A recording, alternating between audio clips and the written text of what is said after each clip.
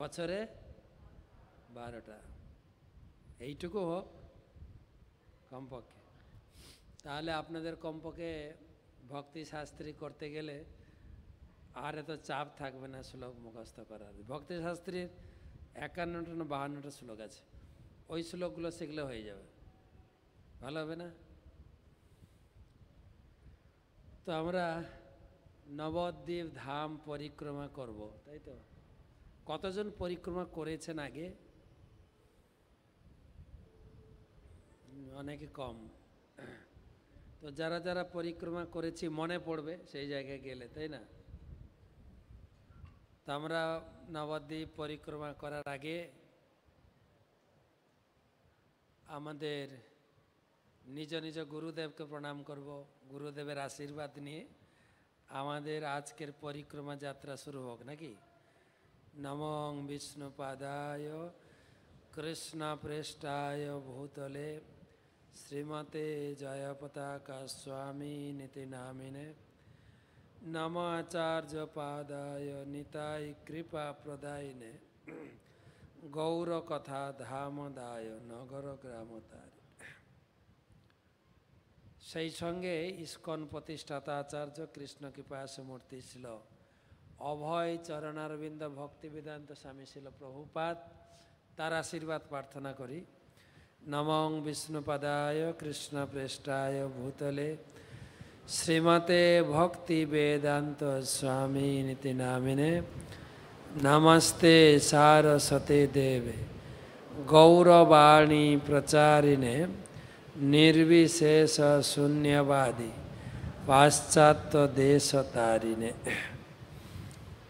তারিণে তৎপশ্চাৎ সমুপস্থিত সমস্ত ভক্তবৃন্দ সকলের চরণে বৈষ্ণবী প্রণাম নিবেদন করে আমাদের যাত্রা শুরু হবে বাঞ্ছা কল্পতরু ভ্যস কৃপা সিন্ধু বয়েবচ পতিতানাং পাবনেভ্যো বৈষ্ণবেভ্যো নমো নমঃ জয় শ্রীকৃষ্ণ চৈতন্য প্রভু নিত্যানন্দ শ্রী অদ্বৈত গদাধর শ্রীবাসাদি শ্রী গৌর ভক্তবৃন্দ হরে কৃষ্ণ হরে কৃষ্ণ কৃষ্ণ কৃষ্ণ হরে হরে হরে রাম হরে রাম রাম রাম হরে হরে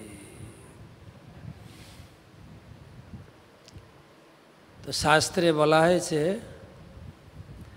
বজেন্দ্র নন্দন যেই শচীসুত হইল সেই। বজেন্দ্র নন্দন ভগবান কৃষ্ণ দাপর যুগে ব্রজে বৃন্দাবনে আবির্ভূত হইলেন। সেই কৃষ্ণই কলিযুগে এসছেন শচীসুত নিমাই। বজেন্দ্র নন্দন যেই শচীসুত হইল সেই একই ব্যক্তি। বলরাম হইল নিতাই। বলরাম এসছেন নিত্যানন্দ প্রভু রূপে। তো আমরা জানি বৃন্দাবনের কথা আমরা খুব শুনি। হিন্দু লোক মানে বৃন্দাবনকে আমরা শ্রদ্ধা করি, বৃন্দাবনকে আমরা পূজা করি। বৃন্দাবন হচ্ছেন আমাদের আরাধ্য স্থান। শাস্ত্রে বলা হচ্ছে শ্রীকৃষ্ণ চৈতন্য প্রভু জীবে দয়া করি সপার্শ্বদ সিও ধাম সহ অবতরী। পুরো টিম যেখানে বৃন্দাবন লীলায় ছিলেন, ভগবান কৃষ্ণ, বলরাম, শ্রীদাম, সুদাম, বলরাম, দাম বসুদাম, মধুমঙ্গল, আর যত গোপী সখী, কমপক্ষে আমাদের মায়াপুরে রাধা মাধব অষ্টসখী আছেন। নাম মনে আছে? গতবারে শিখিয়েছিলাম। অষ্ট অষ্টসখী মাধব, কৃষ্ণের নাম হচ্ছে মাধব। মাধব আর পাশে আছেন রাধারানী। রাধারানীর পাশে আছেন বিশাখা। বিশাখার পাশে আছেন আরেকজন খা, ইন্দুলেখা, মনে থাকবে তো? রঙ্গদেবী সুদেবী, তার যমজ বোন।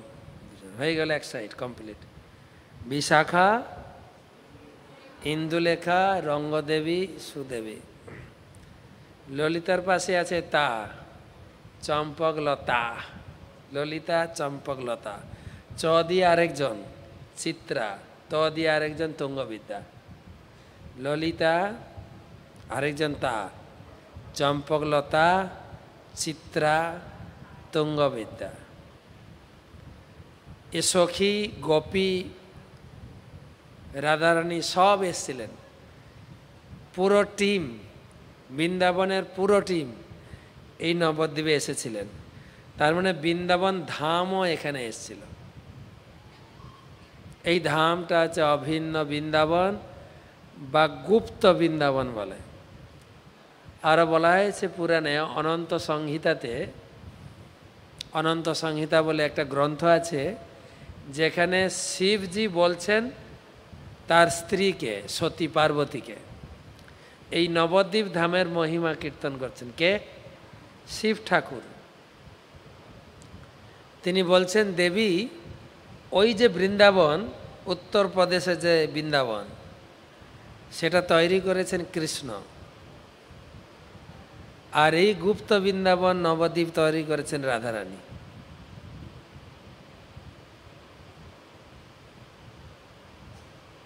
কৃষ্ণের কৃপা হলে, কেউ কৃষ্ণ যদি কৃপা করেন তাহলে আপনি বৃন্দাবন যেতে পারবেন, এক রাত থাকতে পারবেন কৃষ্ণের কৃপা হলে। রাধারানীর কৃপা হলে তিন রাত থাকতে পারবেন। আর সেই রাধারানী তৈরি করেছেন এই নবদ্বীপ গুপ্ত বৃন্দাবন। পুরাণে বলা হচ্ছে কৃতে তু পুষ্করম তীর্থ।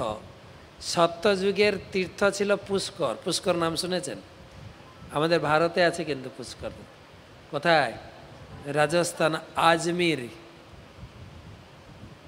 পরম পবিত্র তীর্থ। কৃতে কৃতে মানে সত্যযুগে। কৃতে তু পুষ্করম তীর্থ। তেতায়াম নৈমিষম তথা। ত্রেতা যুগে তীর্থ ছিল নৈমিষারণ্য। নৈমিষারণ্যটা কোথায়? নৈমিষারণ্য? যোগী বাবার রাজ্যে। আদিত্য যোগী রাজ্যে, নৈমিষারণ্য, অযোধ্যা, নৈমিষারণ্য, যেখানে সুত গোস্বামী ভাগবত পাঠ করেছিলেন। দুজন গোস্বামী, সুত গোস্বামী, সুখদেব গোস্বামী। সুখদেব গোস্বামী শুনিয়েছিলেন পরীক্ষিতকে, সেটা ছিল হরিদ্বার শুক্রতালে। আর সুত গোস্বামী শুনিয়েছিলেন সুত গোস্বামী, সৌনক আদি ঋষিদের। তো সত্যযুগের তীর্থ হচ্ছে সত্যযুগের তীর্থ পুষ্কর।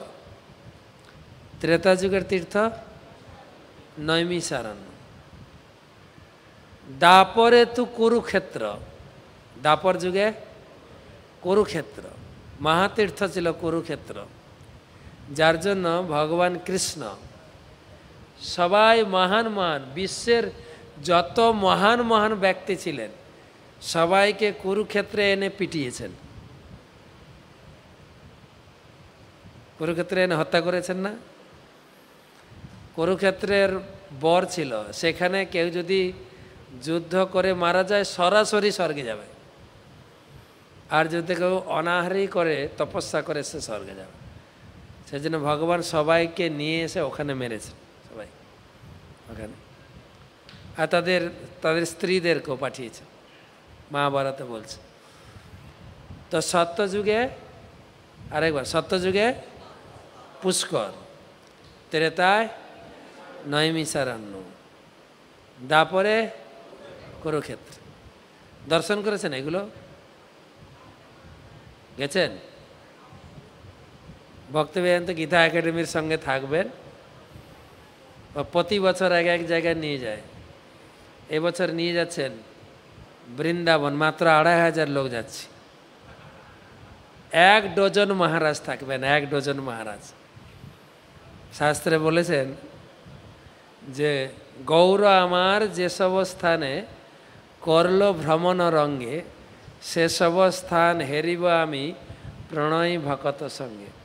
চোখ দিয়ে ধাম দেখা যায় না কিন্তু। বৃন্দাবনে অনেকে গেছেন।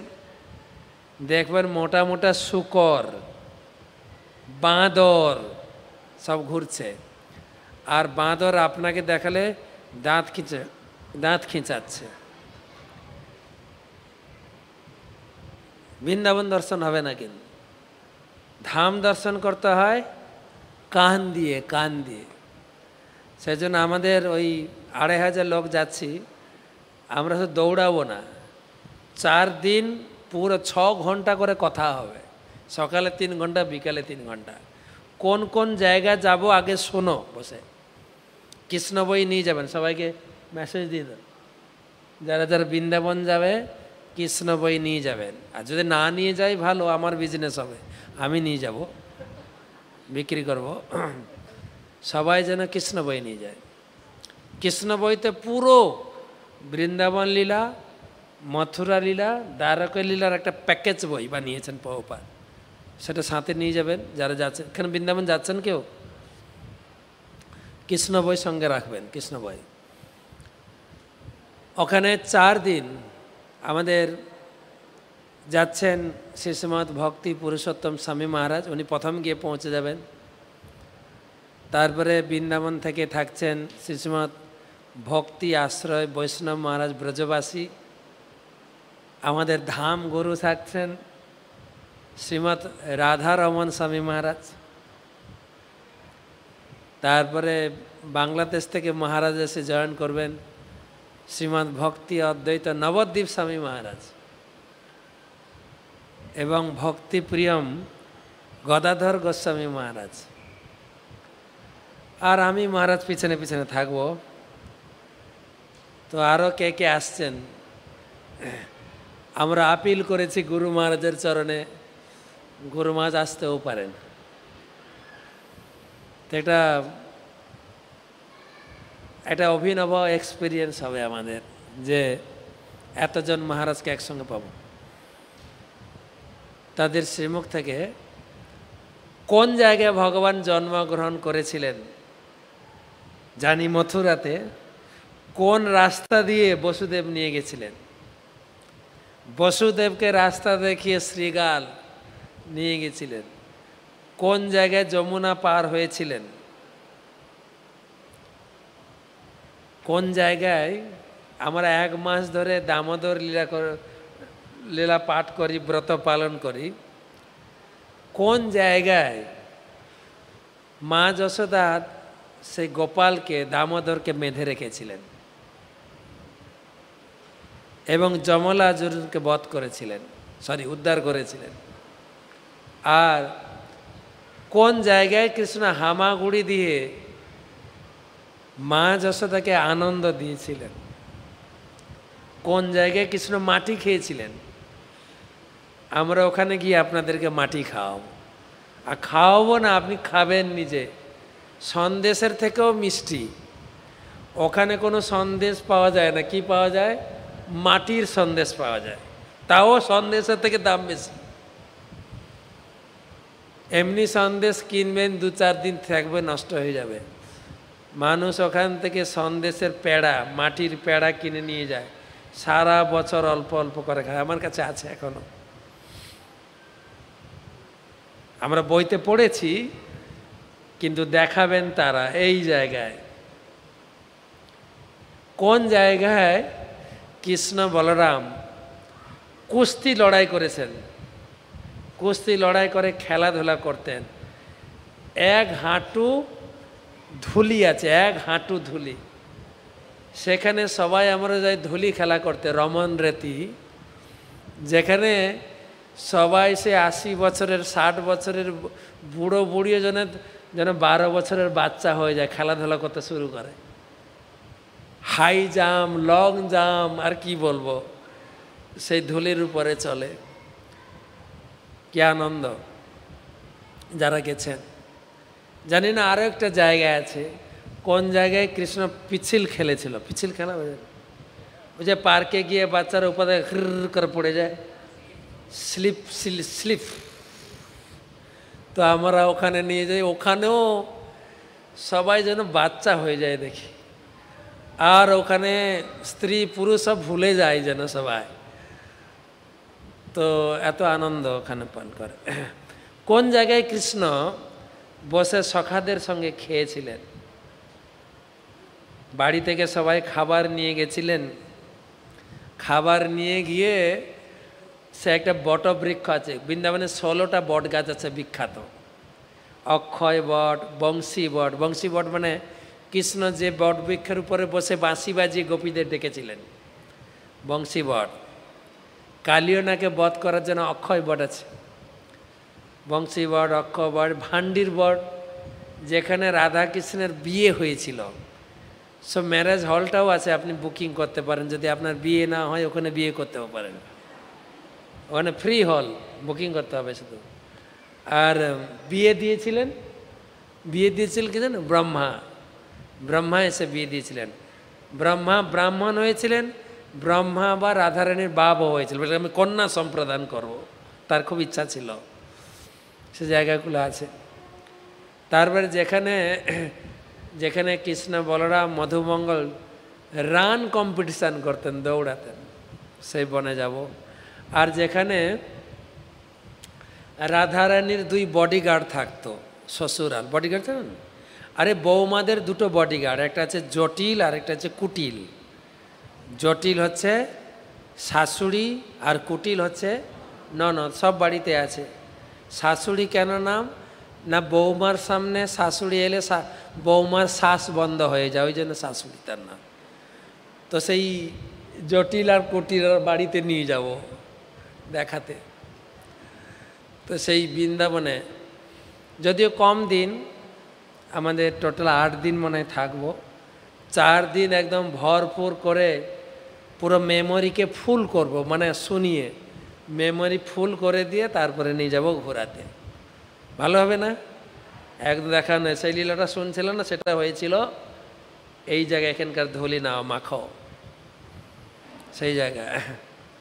তারপরে একদিন মাত্র বাইশ কিলোমিটার হাঁটাবো। বেশি না, বাইশ কিলোমিটার। মাত্র বাইশ কিলোমিটার আমরা গতবারে হাঁটা শুরু করেছিলাম বিকাল পাঁচটায় মনে হয়। পাঁচটায় এগারোটায় হাঁটা শেষ করেছি, সবাইকে জলে চুবিয়েছি তারও ঘরে নিয়ে এসেছি। রাধাকুণ্ডে ডুবিয়েছি সবাইকে। রাধাকুণ্ড স্নান করিয়ে সবাইকে ঘরে নিয়ে এসেছি, দিয়ে খাইয়ে ঘুম পাড়িয়ে দিয়েছি। একদম রাত্রি একটায় ঘুমিয়েছে, ভোর ছটা সাতটায় উঠেছে। সকালে আর ডিস্টার্ব করিনি কাউকে মোটামুটি। বৃন্দাবন ধাম। সেই বৃন্দাবন এখন সেই বৃন্দাবনে এই নদিয়া। তথাপি আমরা বৃন্দাবন যাই। তো এই সত্যযুগের তীর্থ আরেকবার, যেখানে ছিলাম। সত্যযুগের তীর্থ পুষ্কর, ত্রেতা, নৈমিষারণ্য দাপরে কুরুক্ষেত্র। আর কলৌ গঙ্গা কলৌ গঙ্গা সমাশ্রয় কলিযুগের তীর্থ হচ্ছে গঙ্গার তীর। যেদিক দিয়ে গঙ্গা বয়ে গেছে, গঙ্গার তীরবর্তী ভগবান চার জায়গায় আছেন। তুলসী, গঙ্গা, ভাগবত আর ভক্তজনে। যেখানে তুলসী আছেন। তুলসীর আরেক নাম হচ্ছে বৃন্দা। অনেকগুলো তুলসী গাছ হলে তুলসীর বাগান বলে না? এটাকে বলা যাবে বৃন্দাবন। বৃন্দাবনে কৃষ্ণ থাকেন প্রচুর পরিমাণে তুলসী গাছ লাগাবেন, গাড়ি চারিদিকে। আপনারা মোটামুটি হাওড়া বা সেই হুগলির ভগবানের কথা মানবেন না কিন্তু। তুলসী গাছ তুলে দিয়ে বেগুন গাছ লাগাও। এটা একদম বাজে কথা এবং ধর্ম বিরুদ্ধ কথা। প্রচুর পরিমাণে তুলসী গাছ লাগাবেন। এই করোনার থাবাতে আমাদের হয়েছিল না, অক্সিজেন স্যাচুরেশন আপ ডাউন করছিল। এই গেল গেল গেল গেল, মরে গেল নাকি। প্রচুর পরিমাণে তুলসী গাছ লাগাবেন। তুলসী গাছ প্রচুর পরিমাণে অক্সিজেন সাপ্লাই দেয়। আপনার বাড়িতে কারও অক্সিজেন অভাব হবে না, শ্বাসকষ্ট হবে না। তুলসী গাছ লাগাবেন। এবং তুলসীর ঘ্রাণ ভগবানের চরণে প্রচুর পরিমাণে তুলসী দেবেন, ভোগে তুলসী মঞ্জরি দেবেন, তুলসী খাবেন। যত কফ, সর্দি, কাশির ওষুধ আছে না, সব তুলসী আছে। আপনার শ্বাসকষ্ট, কফ ক্লিয়ার হবে। এখন বলছে, ডাক্তার বলছে যে, প্রতিদিন যদি তুমি খালি পেটে তোমার হাত আবার নাড়ানাড়ি করছে কেন গো? আমি কম সাউন্ড চাই, আমাকে বেশি দিলে আমি আর পিছাবো। হ্যাঁ? পিছনের লোক যারা শুনবে, আগে বসবে, পিছনে এসে তো কি করবে? আমাদের সামনে দু চারটে লোককে শোনালে যথেষ্ট। যারা শুনতে চায় তারা আগে আসে। তো ডাক্তার বলছে, যদি আপনি খালি পেটে প্রতিদিন সাতটা করে তুলসী পাতা খান, আপনি সর্বরোগ হর সমস্ত রোগ থেকে মুক্ত থাকবেন। তো খালি তুলসী পাতা খাবেন না। ভগবানের চরণ নিবেদন করবেন। নিবেদন করে প্রসাদী হিসাবে ঘ্রাণ নেবেন, ঘ্রাণ। জোরে টানবেন টানবেন। ভক্তি রসামিত সিন্ধুতে বলছেন, কেউ যদি ভগবানের চরণে তুলসী পুষ্পের ঘ্রাণ নেয় প্রতিদিন। আপনারা জানবেন, কাউকে যদি সাপে দংশন করে, এক প্রকার শিকড় পাওয়া যায়, যেটা ওঝারা জানে। সেই শিকড়টা সেই রোগীকে শোকালে সাপের বিষ কেটে যাবে, সে মুক্ত হয়ে যাবে, বেঁচে যাবে। ঠিক সেই রকম প্রতিদিন যদি ভগবানের চরণে অর্পিত পুষ্প এবং তুলসীর ঘ্রাণ গ্রহণ করেন, আপনার ভিতরে বিষয়ের বিষ, কামনা বাসনার বিষ কেটে যাবে। ভক্তি রসমিতা সিন্ধু পড়বেন, দিয়েছেন। তো তুলসীতে ভগবান, যেখানে তুলসী সেখানে ভগবান। গঙ্গা। গঙ্গা স্নান করেছেন তো? না। করেছেন। আজকে একাদশীতে নিশ্চয় করেছেন গঙ্গা। গঙ্গাতে ভগবান থাকেন। আর ভাগবত তো সাক্ষাৎ ভগবান। আপনারা নিয়ে যাবেন আজকে অনেকজন, আশা করা যাচ্ছে, তাই না? ভগবানকে নিয়ে যাবেন। আর ভক্ত, ভগবান বলছেন নারদমণিকে নাহং তিষ্টামি বৈকুণ্ঠে। আমার অরিজিনাল ঠিকানা কিন্তু বৈকুণ্ঠ না কিন্তু। আমি বৈকুণ্ঠে থাকি না। যোগিনাং হৃদয়ে নচ আমি কারোর হৃদয়েও আটক পড়ি না। বই থাকো কোথায়? তোমার অরিজিনাল ঠিকানা কি? বলছে, মদভক্তা যত্র গায়ন্তী, তত্র তিষ্ঠামি নারদ। আমার ভক্তরা যখন আমার গুণকীর্তন করে, হরিনাম কীর্তন করে, সেখানেই আমি বসে বসে শুনি। তাহলে ভক্ত যেখানে ভাগবত যেখানে গঙ্গা আর আর তুলসী, এই চার জায়গায় ভগবান থাকে তো ভগবান সাক্ষাৎ বিরাজমান এই চার জায়গায়। তো এই গঙ্গার সন্নিধান হচ্ছে কলিযুগের তীর্থক্ষেত্র, আর তার উপরে এই জায়গা, গঙ্গা তো শুরু হয়েছে আপনার হিমালয় থেকে। হিমালয় থেকে, গঙ্গোত্রী থেকে হিমালয় থেকে ঘুরে ঘুরে প্রয়াগরাজ, এখন এলাহাবাদ বলবেন না, প্রয়াগরাজ, প্রয়াগ তীর্থ হয়ে উত্তরপ্রদেশ কানপুর, পাটনা হয়ে আমাদের মালদাতে ঢুকেছেন বাংলায়, মানিক চকে ঢুকেছেন। ফারাক্কায়, ফারাক্কা থেকে বয়ে আসছে এই গঙ্গা। এই গঙ্গা বইতে বইতে গিয়ে কোথায় মিশেছে? গঙ্গা সাগরে মিশেছে। এই গঙ্গা। তো হিমালয় থেকে গঙ্গোত্রী থেকে এত বড় তীর্থ, তাহলে মূল কোনটা জায়গায় আমি গিয়ে আশ্রয় নেব? না যেখানে মহাপ্রভু আবির্ভূত হয়েছে? মহাপ্রভু এখানে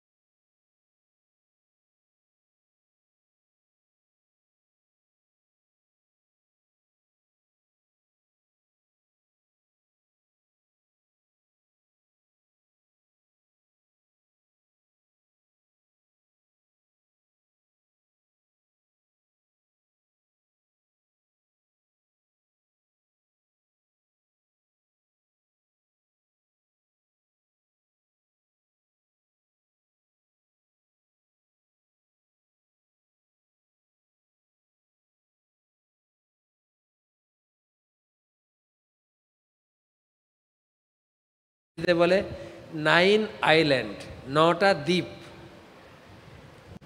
প্রথম দ্বীপ হচ্ছে সীমন্ত দ্বীপ। মনে রাখতে হবে কিন্তু, সীমন্ত, সীমা বলে না, সীমন্ত।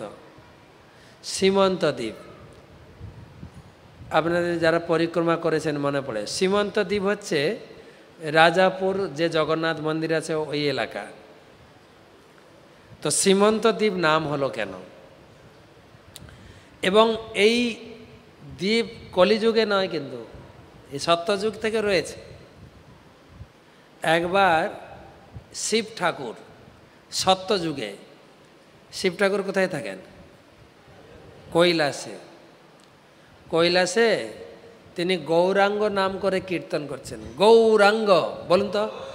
গৌরাঙ্গ গৌরাঙ্গ। গৌরাঙ্গ গৌরাঙ্গ গৌরাঙ্গ গৌরাঙ্গ গৌরাঙ্গ তো গৌরাঙ্গ গৌরাঙ্গ কীর্তন করছেন শিব ঠাকুর। তো পার্বতী দেখছেন, আমার প্রভু গৌরাঙ্গ নাম করে কীর্তন করছেন, তার শরীরে কত আনন্দ, শরীরে আনন্দ অশ্রু বইছে। আর উদ্দণ্ড নৃত্য কীর্তন করছে, আনন্দে। তো কিছুক্ষণ পরে দেবী গিয়ে জিজ্ঞাসা করছেন, প্রভু, আপনি তো প্রতিদিন ভগবানের নাম কীর্তন করে নাচেন। আজকে আপনি এত আনন্দ আপনার শরীরে। আর আপনি যে নাম গাইছেন গৌরাঙ্গ, এটা একটা নতুন নাম শুনছি। এর আগে তো এই নাম শুনি নাই।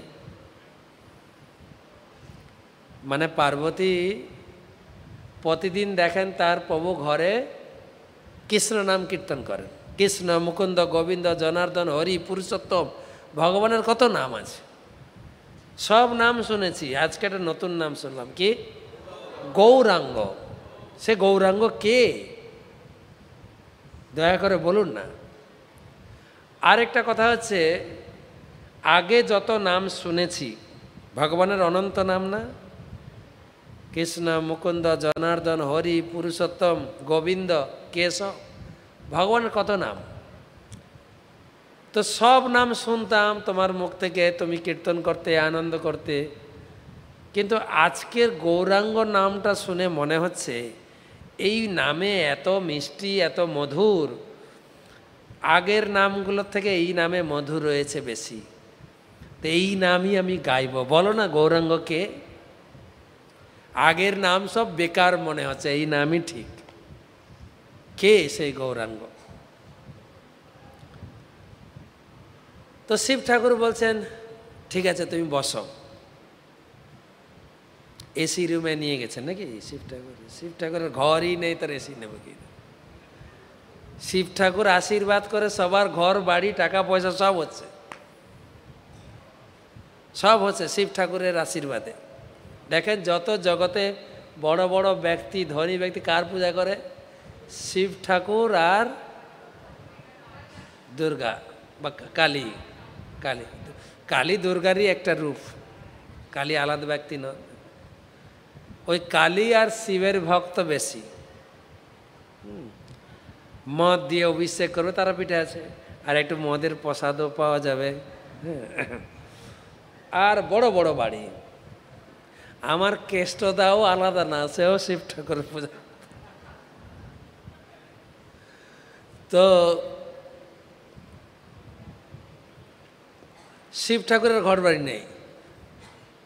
এটা গাছের গোড়ায় নিয়ে গেছে বসো এখানে। কিন্তু শিব ঠাকুর কোথায় থাকেন? শ্মশান মশানে থাকেন না? তো গাছের গোড়ায় বসে বলছে বসো। তো কি বলব? ভগবান যুগে যুগে আসেন। যদা একসঙ্গে, যদা যদা হি ধর্মস্ব গ্লানির্ভবতি ভারত অভ্যুত্থানম অধর্মস্য তদাত্মানম সৃজামহম পরিত্রাণায় সাধূনাম বিনাশায় দুষ্কৃতম ধর্ম সংস্থাপনার্থায় সম্ভ্যব্যামি উগে উগে তো ভগবান যুগে যুগে আসেন তিনি সত্য যুগে এসছেন, ত্রেতা যুগে এসছেন দাপর যুগে এসছেন। তিনি কলি যুগেও আসবেন। কে কাকে বলছেন? শিব ঠাকুর, পার্বতীকে। তার মানে স্বামী হতে গেলে এই তত্ত্বগুলো জানতে হবে। আপনাদের পড়াতে হবে। এমন নয় যে শুধু পেপার পড়ে সময় কাটাবো না। শিব ঠাকুর, পার্বতীর মধ্যে ভাগবত আলোচনা আছে অনেক।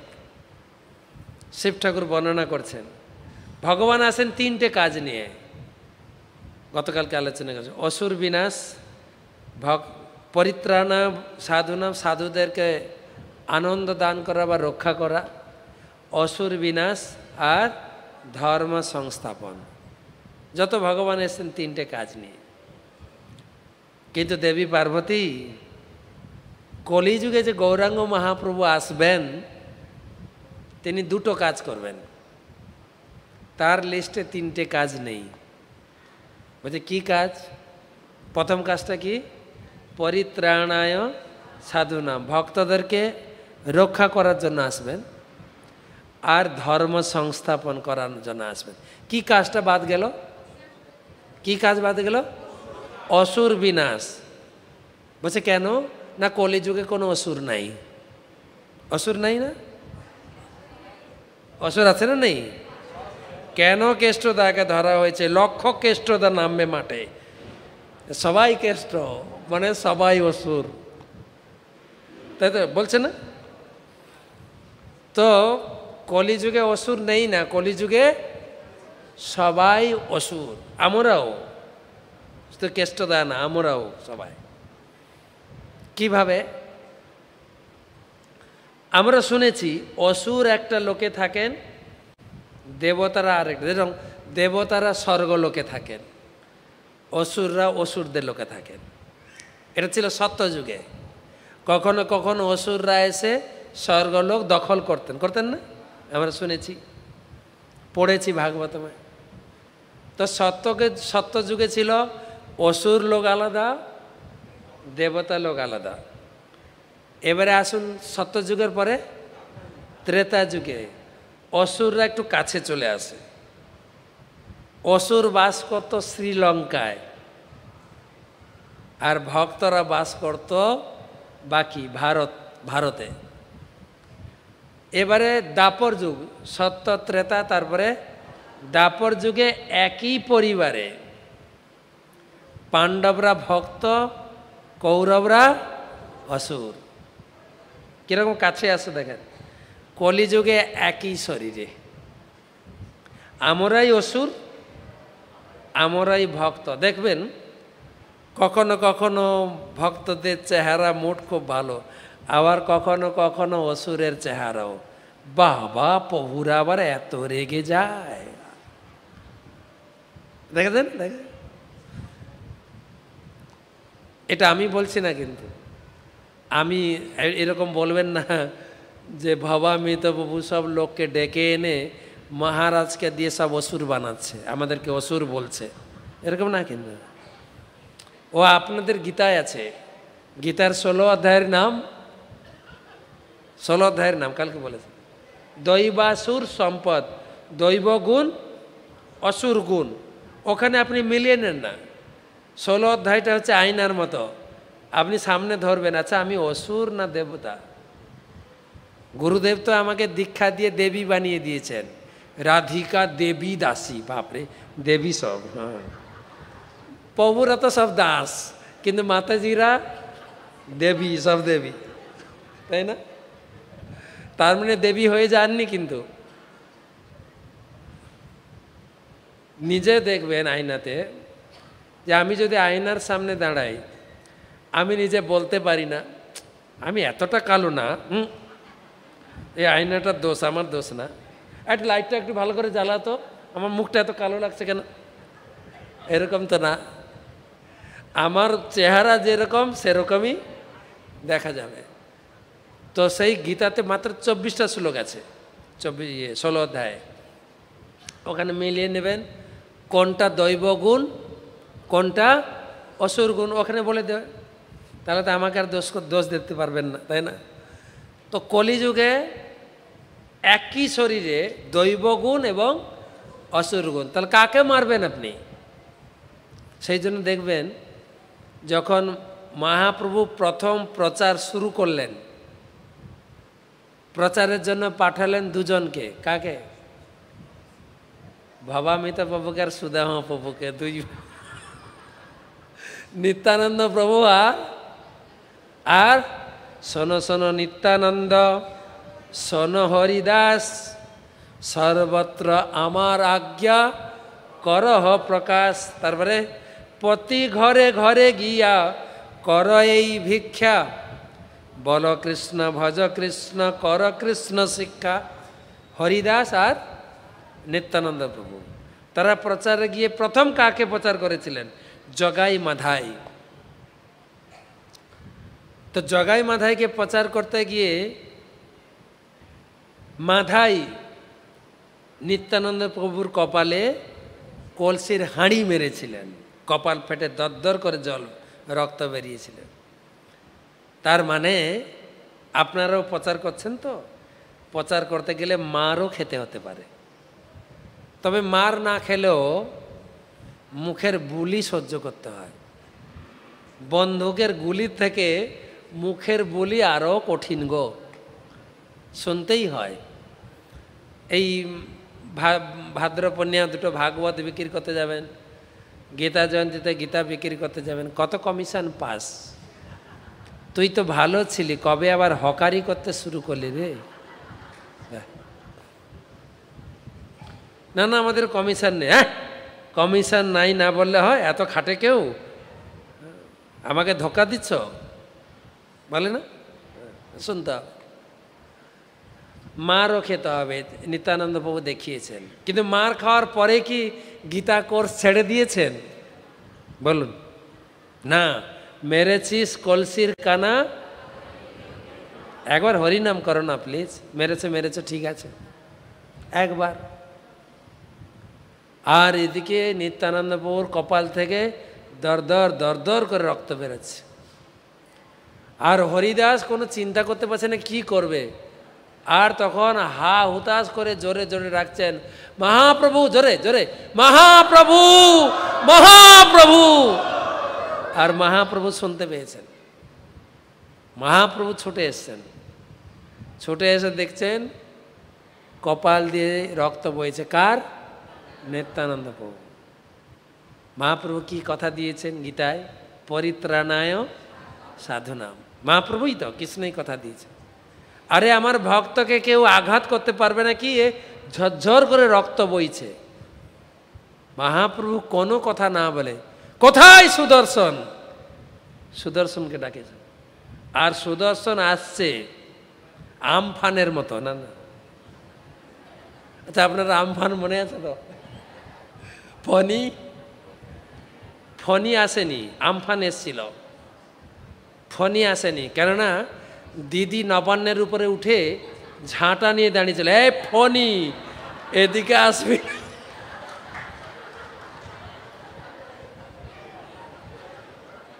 পেয়েছেন না? একটা পোস্ট দিয়েছিল আমাকে। এই ফনি এদিকে আসবি না, ঝেঁটিয়ে তাড়িয়ে দেব। তো বিশাল। একদম ঝড়ের বেগে সুদর্শন এসেছেন। সুদর্শন এসে জগাই মাথাকে কেটে দেবেন। নিত্যানন্দ প্রভু মহাপ্রভুর পা দুটো জড়িয়ে দিলেন। প্রভু, কাটাকাটিটা আমাদের লিস্টে নেই। এই অবতারে আমাদের মাত্র লিস্টে কয়টা কাজ? দুটো কাজ। তিন নম্বর কাজটা তো করতেই পারব না। আপনি কি করে কাটবেন বলুন? কেন? কেন কাটতে পারবে না বলেছি? কাটতে গেলে তো শুধু জায়গায় মাথাকে কাটলে হবে না, সবাইকে কাটতে হবে, সবাই অসুর তাই এদের ভিতরে অসুর গুণও আছে, এদের ভিতরে ভালো গুণও আছে। তাই আপনি এদেরকে হরিনাম দিয়ে শোধন করুন। করেছেন না? মহাপ্রভু আমাদের হৃদয়ের এই অসুর ময়লাকে শোধন করার জন্য দুটো সাবান দিয়েছেন। এর আগেও বলেছি, মনে আছে কেন দেখেন। কাপড় ময়লা হলে আমরা কাপড় কাচি, কি সাবান দিয়ে? ডিটারজেন্ট সাবান, পাউডার, তাই তো? যখন স্নান করতে যাই, শরীর পরিষ্কার করে কি দিয়ে? অনেক সাবান আছে। লাইফ বয়, ডাব, নারকেল, লিরিল, ওর কত সাবান আছে? বাসন কোসন ধোয়ার জন্য কি সাবান ব্যবহার করি? ভীমবার পৌরা জানে না কিন্তু আপনারা জানেন। কেন ওদের, ওনাদের এইসব কাজে নেই। খেয়ে দিয়ে থালাটাও ফেলে দিয়ে চলে যাওয়া ভীমবার কাপড় ধোয়ার জন্য ডিটারজেন্ট, শরীর ধোয়ার জন্য বডি সপ আর বাসনপত্র ধোয়ার জন্য ভীম ভীমবার হৃদয় ধোবেন কি দিয়ে? দুটো সাবান। একটা সাবান হচ্ছে হরিনাম। চেত দর্পণ মার্জনম ভব মহাদাবাগ্নি নির্বাপনম শ্রেয় কৈরব চন্দ্রিকা বিতরণম বিদ্যাবোধ জীবনম চেত দর্পণ মার্জন মার্জন বলা হয়েছে কিন্তু বাসনপত্র যেরকম মার্জন করতে হয় বাসনপত্র ধোয়া হয় না কেন কী করতে হয় মাসতে হয় নাহলে ময়লা থেকে যাবে কিন্তু আমাদের হরিনামটাও মাজতে হবে। এ হরিনামের মালাটা নিয়ে সারা দুনিয়া ঘুরলে হয় না কিন্তু।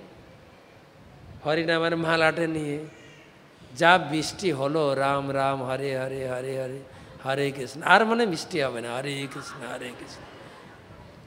হ্যালো, তোমার ওখানে বৃষ্টি হয়েছে নাকি? রাম রাম, হরে হরে কৃষ্ণ হরে কৃষ্ণ কৃষ্ণ কৃষ্ণ। আরে এখানে যা বৃষ্টি হলো, কি বলব? রাম রাম রাম। এরকম তো আর করছি না আমরা হরিনাম এরকমই তো হরিনাম করি। জব করি, মোবাইলে গল্প, জব করি, সামনে কথা হয়ে গেল। জব করতে করতে হরে কৃষ্ণ হরে কৃষ্ণ। মাতাজি, তুমি নাকি মায়াপুর গেছিলে ক্যাম্পে? হরে কৃষ্ণ হরে কৃষ্ণ কৃষ্ণ কৃষ্ণ, হরে হরে। হরে রাম হরে রাম রাম। অনেকক্ষণ ক্লাস হয় না, অতক্ষণ আমি বসতে পারি না। রাম রাম রাম। অতক্ষণ বসা যায় নাকি? এ হরিনাম আর গল্প। এতে তো মার্জন হবে, ধোয়াই হচ্ছে। আমি পাঁচ বছর, দশ বছর, বিশ বছর দীক্ষা নিলে আমি সিনিয়র হলে হবে কী করে? চুল পাকলে হবে কি করে? হৃদয়টা কিন্তু পাকছে না। আমাদের একজন গুরুদেব আছেন শিশুমাত সুভক স্বামী গুরু মহারাজ। উনি বলেন জব করতে করতে মালা তো কালো হয়ে গেল যে। কিছু লাভ হলো কি? অর্থাৎ বসে আপনাদের সকালে প্রভু শিখিয়েছেন লক্ষ্মী গোবিন্দ প্রভু। আবার কালকে আর একটু ডোজ দেবেন, ডোজ। আমাদের নাড়ু গোপাল কীভাবে জব করবেন? উনি একটা বইও লিখেছেন, বসুন। এবং শির দাঁড়া সোজা করে ষষ্ঠ অধ্যায় বর্ণনা রয়েছে কীভাবে বসবেন গীতাতে। বসবেন কীভাবে? কোথায় বসবেন? আর কীভাবে নাম জপ করবেন? তাহলে না ঈশ্বর আসবেন? নাহলে ঈশ্বর আসবেন কি করে? আমি এক জায়গায় বলছিলাম, এক জায়গায় দেখছি এক মা কোলে শিশুকে নিয়ে বুকের স্তন পান করাচ্ছেন আর হাতে জপমালা। বাম হাতে আদর করছেন বাচ্চাকে। কি সুন্দর তুই, রাম রাম, হরে হরে কৃষ্ণ হরে কৃষ্ণ। রাম রাম, হরে হরে। আমি দেখছি দূর থেকে তারপরে বাচ্চারা দুধ খাওয়ার পরে আমি এসে বললাম যে আপনি জব করছেন না? বাচ্চাকে আদর করছেন।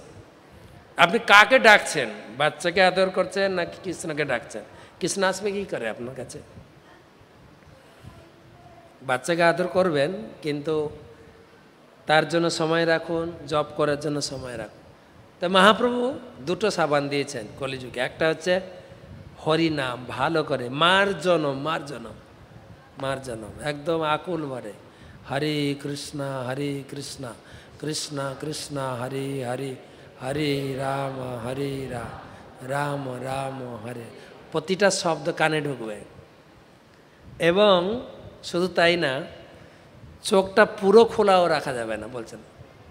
অর্ধ নিমিলিত মানে কাউকে যেন দেখা না যায়, আবার ঘুমিয়ে যেন না যায়।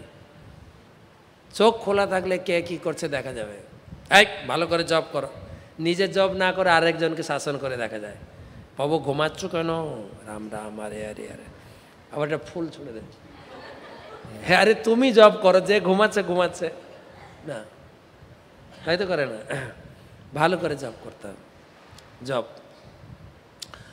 আর দ্বিতীয় সাবান হচ্ছে ভাগবতম। প্রতিদিন শৃণথা স কথা কৃষ্ণ পুণ্য শ্রবণ কীর্তন হৃদয়ন্তস্ত অভদ্রাণী বিধুনতি সুইত বিধুনতি মানে ধুয়ে যাবে।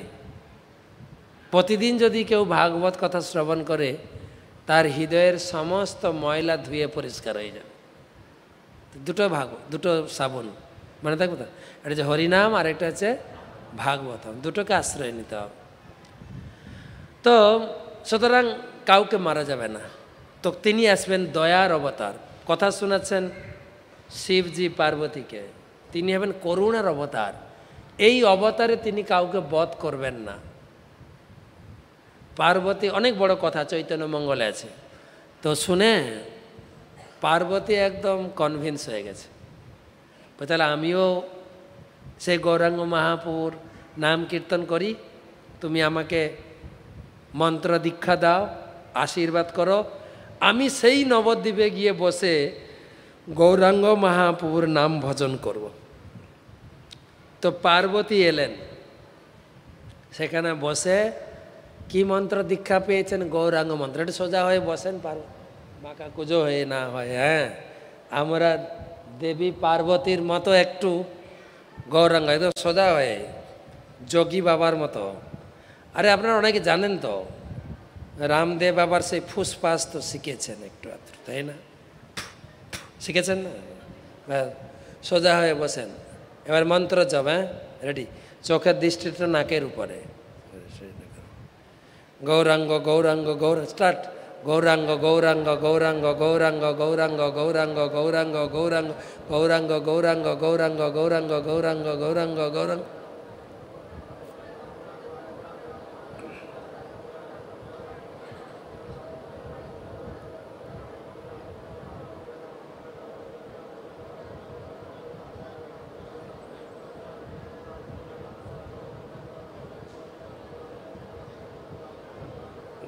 মহাপ্রভু কি?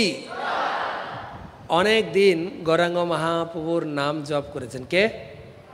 পার্বতী। তখন সত্যযুগ। গৌরাঙ্গ মহাপ্রভু তো জন্মই হয়নি। তো গৌরাঙ্গ মহাপ্রভু তার সামনে আবির্ভূত হলেন। হরি বল। গৌরাঙ্গ মহাপ্রভু সম্বন্ধে তার প্রভু যেরকম বর্ণনা দিয়েছেন, আজ অনুলম্বিত ভোজৌ কনকাবদাত সংকীর্তনৈ কপিতরৌ কমলায়তাক্ষ তার হাত ছিল হাঁটু পর্যন্ত বিস্তৃত। আর চোখগুলো ছিল আকর্ণ বিস্তৃত কান পর্যন্ত। চোখ দুটো টানা টানা বলে না, একদম কান পর্যন্ত বিস্তৃত। আর তার ছিল চাঁচর কেশ এবং দ্বিজমণি, তিনি হচ্ছেন ব্রাহ্মণ কুমার। সে সুন্দর চেহারা, সুন্দর সেই ভগবানকে দর্শন করে পার্বতী ধ্যান থেকে উঠে তিনি প্রণাম করলেন। কীরকম প্রণাম করেছেন? না, পার্বতী শিষ্টাচার জানতেন। পার্বতী হাঁটু গেড়ে পঞ্চাঙ্গ প্রণাম করেছে। প্রণাম করার পরে মহাপ্রভু জিজ্ঞাসা করছেন, দেবী, আপনি এখানে কৈলাস ছেড়ে? তখন পার্বতী বলছেন, প্রভু, আমি অভাগিনী। বলছে, কেন? বলছে, আমি হচ্ছে মায়াদেবী যেখানে আপনি থাকেন, সেখানে আমি থাকতে পারি না। যাহা কৃষ্ণ, তাহা নাহি, মায়ার অধিকার। কৃষ্ণ সূর্য সম, মায়া হয় অন্ধকার। তো আপনি যেখানে, আমার সেখানে থাকার অধিকার নেই। আর আপনার ভক্তরা, তারাও মায়া মায়া বলে আমার কাছে আসে না। তাহলে আপনি, আমি আপনার থেকে বঞ্চিত, আপনার কৃপা থেকে বঞ্চিত, আর ভক্তের কৃপা থেকেও বঞ্চিত। এই মা আসবেন প্যান্ডেল তৈরি হচ্ছে। হচ্ছে না? শুরু হয়েছে তো? তা আপনারা যাবেন। সপ্তমী, অষ্টমী যাবেন। গোবিন্দকে বা গৌরনীতাইকে বা জগন্নাথকে রাধা মাধবকে ভোগ লাগিয়ে নিয়ে যাবেন। মা আপনাদের দেখলে খুব সন্তুষ্ট হবে। হ্যাঁ বৈষ্ণব, বৈষ্ণবী এসছে রে, দেখ। কেন মায়ের আগের নাম হচ্ছে বৈষ্ণবী? বৈষ্ণদেবী না? বৈষ্ণব বৈষ্ণব, যদি আপনি শিয়ালদায় একজন বৈষ্ণবকে দেখেন, আপনি খুশি হবেন কি না বাবা, এত লোকের ভিতরে একটা তিলক করা লোক পেয়েছি রে, দেখ দেখ দেখ। ও মাতাজি আপনার কোথায় বাড়ি? আপনি কি ইস্কনের লোক? না, মনটা একটু খারাপ হয়ে যা, ইস্কনের লোক হলে ভালো হতো। তো ঠিক সেই রকম পার্বতী এসছেন। একজন যদি বৈষ্ণব, বৈষ্ণবী দেখে, খুশি হবেন না? আর ওরা তো ব্রাহ্মণ, যা খাওয়াচ্ছে খাওয়াচ্ছে। আপনি নিয়ে যাবেন? প্রসাদ। প্রসাদ নিয়ে মা তোমার জন্য কেসি দাস একদম রসগোল্লা নিয়ে এসে খাও না একটু, কলকাতার রসগোল্লা, খেয়ে যাও, ভালো লাগবে তোমার। আমাদের অনেক ভক্ত প্রশ্ন করে যে আমাদেরকে চাঁদা চায় আমরা কি করব। অনেক জায়গায় যেখানে সম্ভব হয়েছে। আমি বললাম, চাঁদা দেবে না, তোমরা বলো যে চাল ডাল কিনে দেবো অথবা খিচুড়ি বানিয়ে দেবো। নবমীর খিচুড়িটা আমি দেবো হ্যাঁ? ওরা কী করে? খিচুড়ি বানিয়ে, গোবিন্দকে ভোগ দিয়ে, মায়েকে ভোগ দিয়ে বিতরণ করে। বাস, মা খুশি। তো আপ, আপনার কৃপা পাই না আর আপনার ভক্তের কৃপাও পাই না। আমি কেউ অবাক। তখন গৌরাঙ্গ মহাপ্রভু বল না না না, এরকম না। আমি হচ্ছি শক্তিমান, তুমি হচ্ছ শক্তি, তুমি আমার নিজের শক্তি। তুমি তুমি যোগমায়া তুমি লাদিনী শক্তি, তুমি মহামায়া দুর্গা। বৃন্দাবনে তুমি যোগমায়া আর এখানে কৃষ্ণ বহির্মুখ, যারা কৃষ্ণ ভক্ত, তাদের কাছে তুমি যোগমায়া তাদেরকে যোগ করাও, তাদেরকে আমার সঙ্গে যোগ করাও। আর যেখানে কৃষ্ণ ভক্ত নেই, যারা মহামায়ার দ্বারা কৃষ্ণ থেকে দূরে রাখেন, ত্রিশূল দ্বারা তাদেরকে বধ করেন।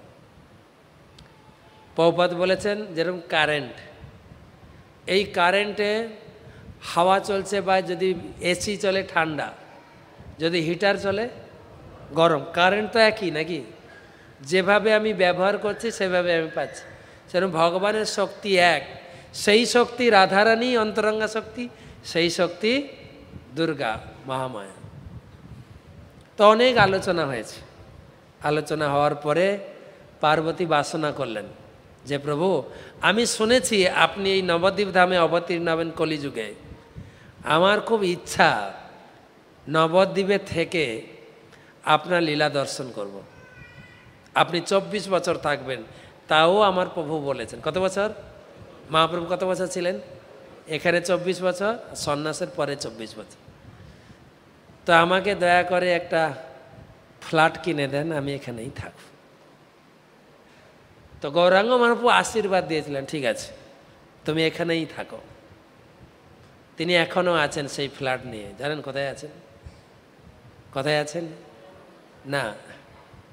শ্রীমন্তিনী ওখানে তপস্যা করেছিলেন, যার জন্য সীমন্তিনী মন্দির করা হয়েছে। তিনি আছেন, আপনারা অনেকে ট্রেনে ফিরবেন, তার না বাস নিয়ে এসছেন। সবাই ট্রেনে ফিরবেন, না, তাহলে ঠিক আছে। কিন্তু এখন তো আবার টোটোগুলো ওদিক দিয়ে যায় না। পোড়ামাতলা। পোড়ামাতলা বিশাল বট গাছ আছে, দেখবেন? বিশাল বট গাছ যদি বিষ্ণুপ্রিয়া স্টেশন ধরেন, ওইটা দিয়ে যাবেন।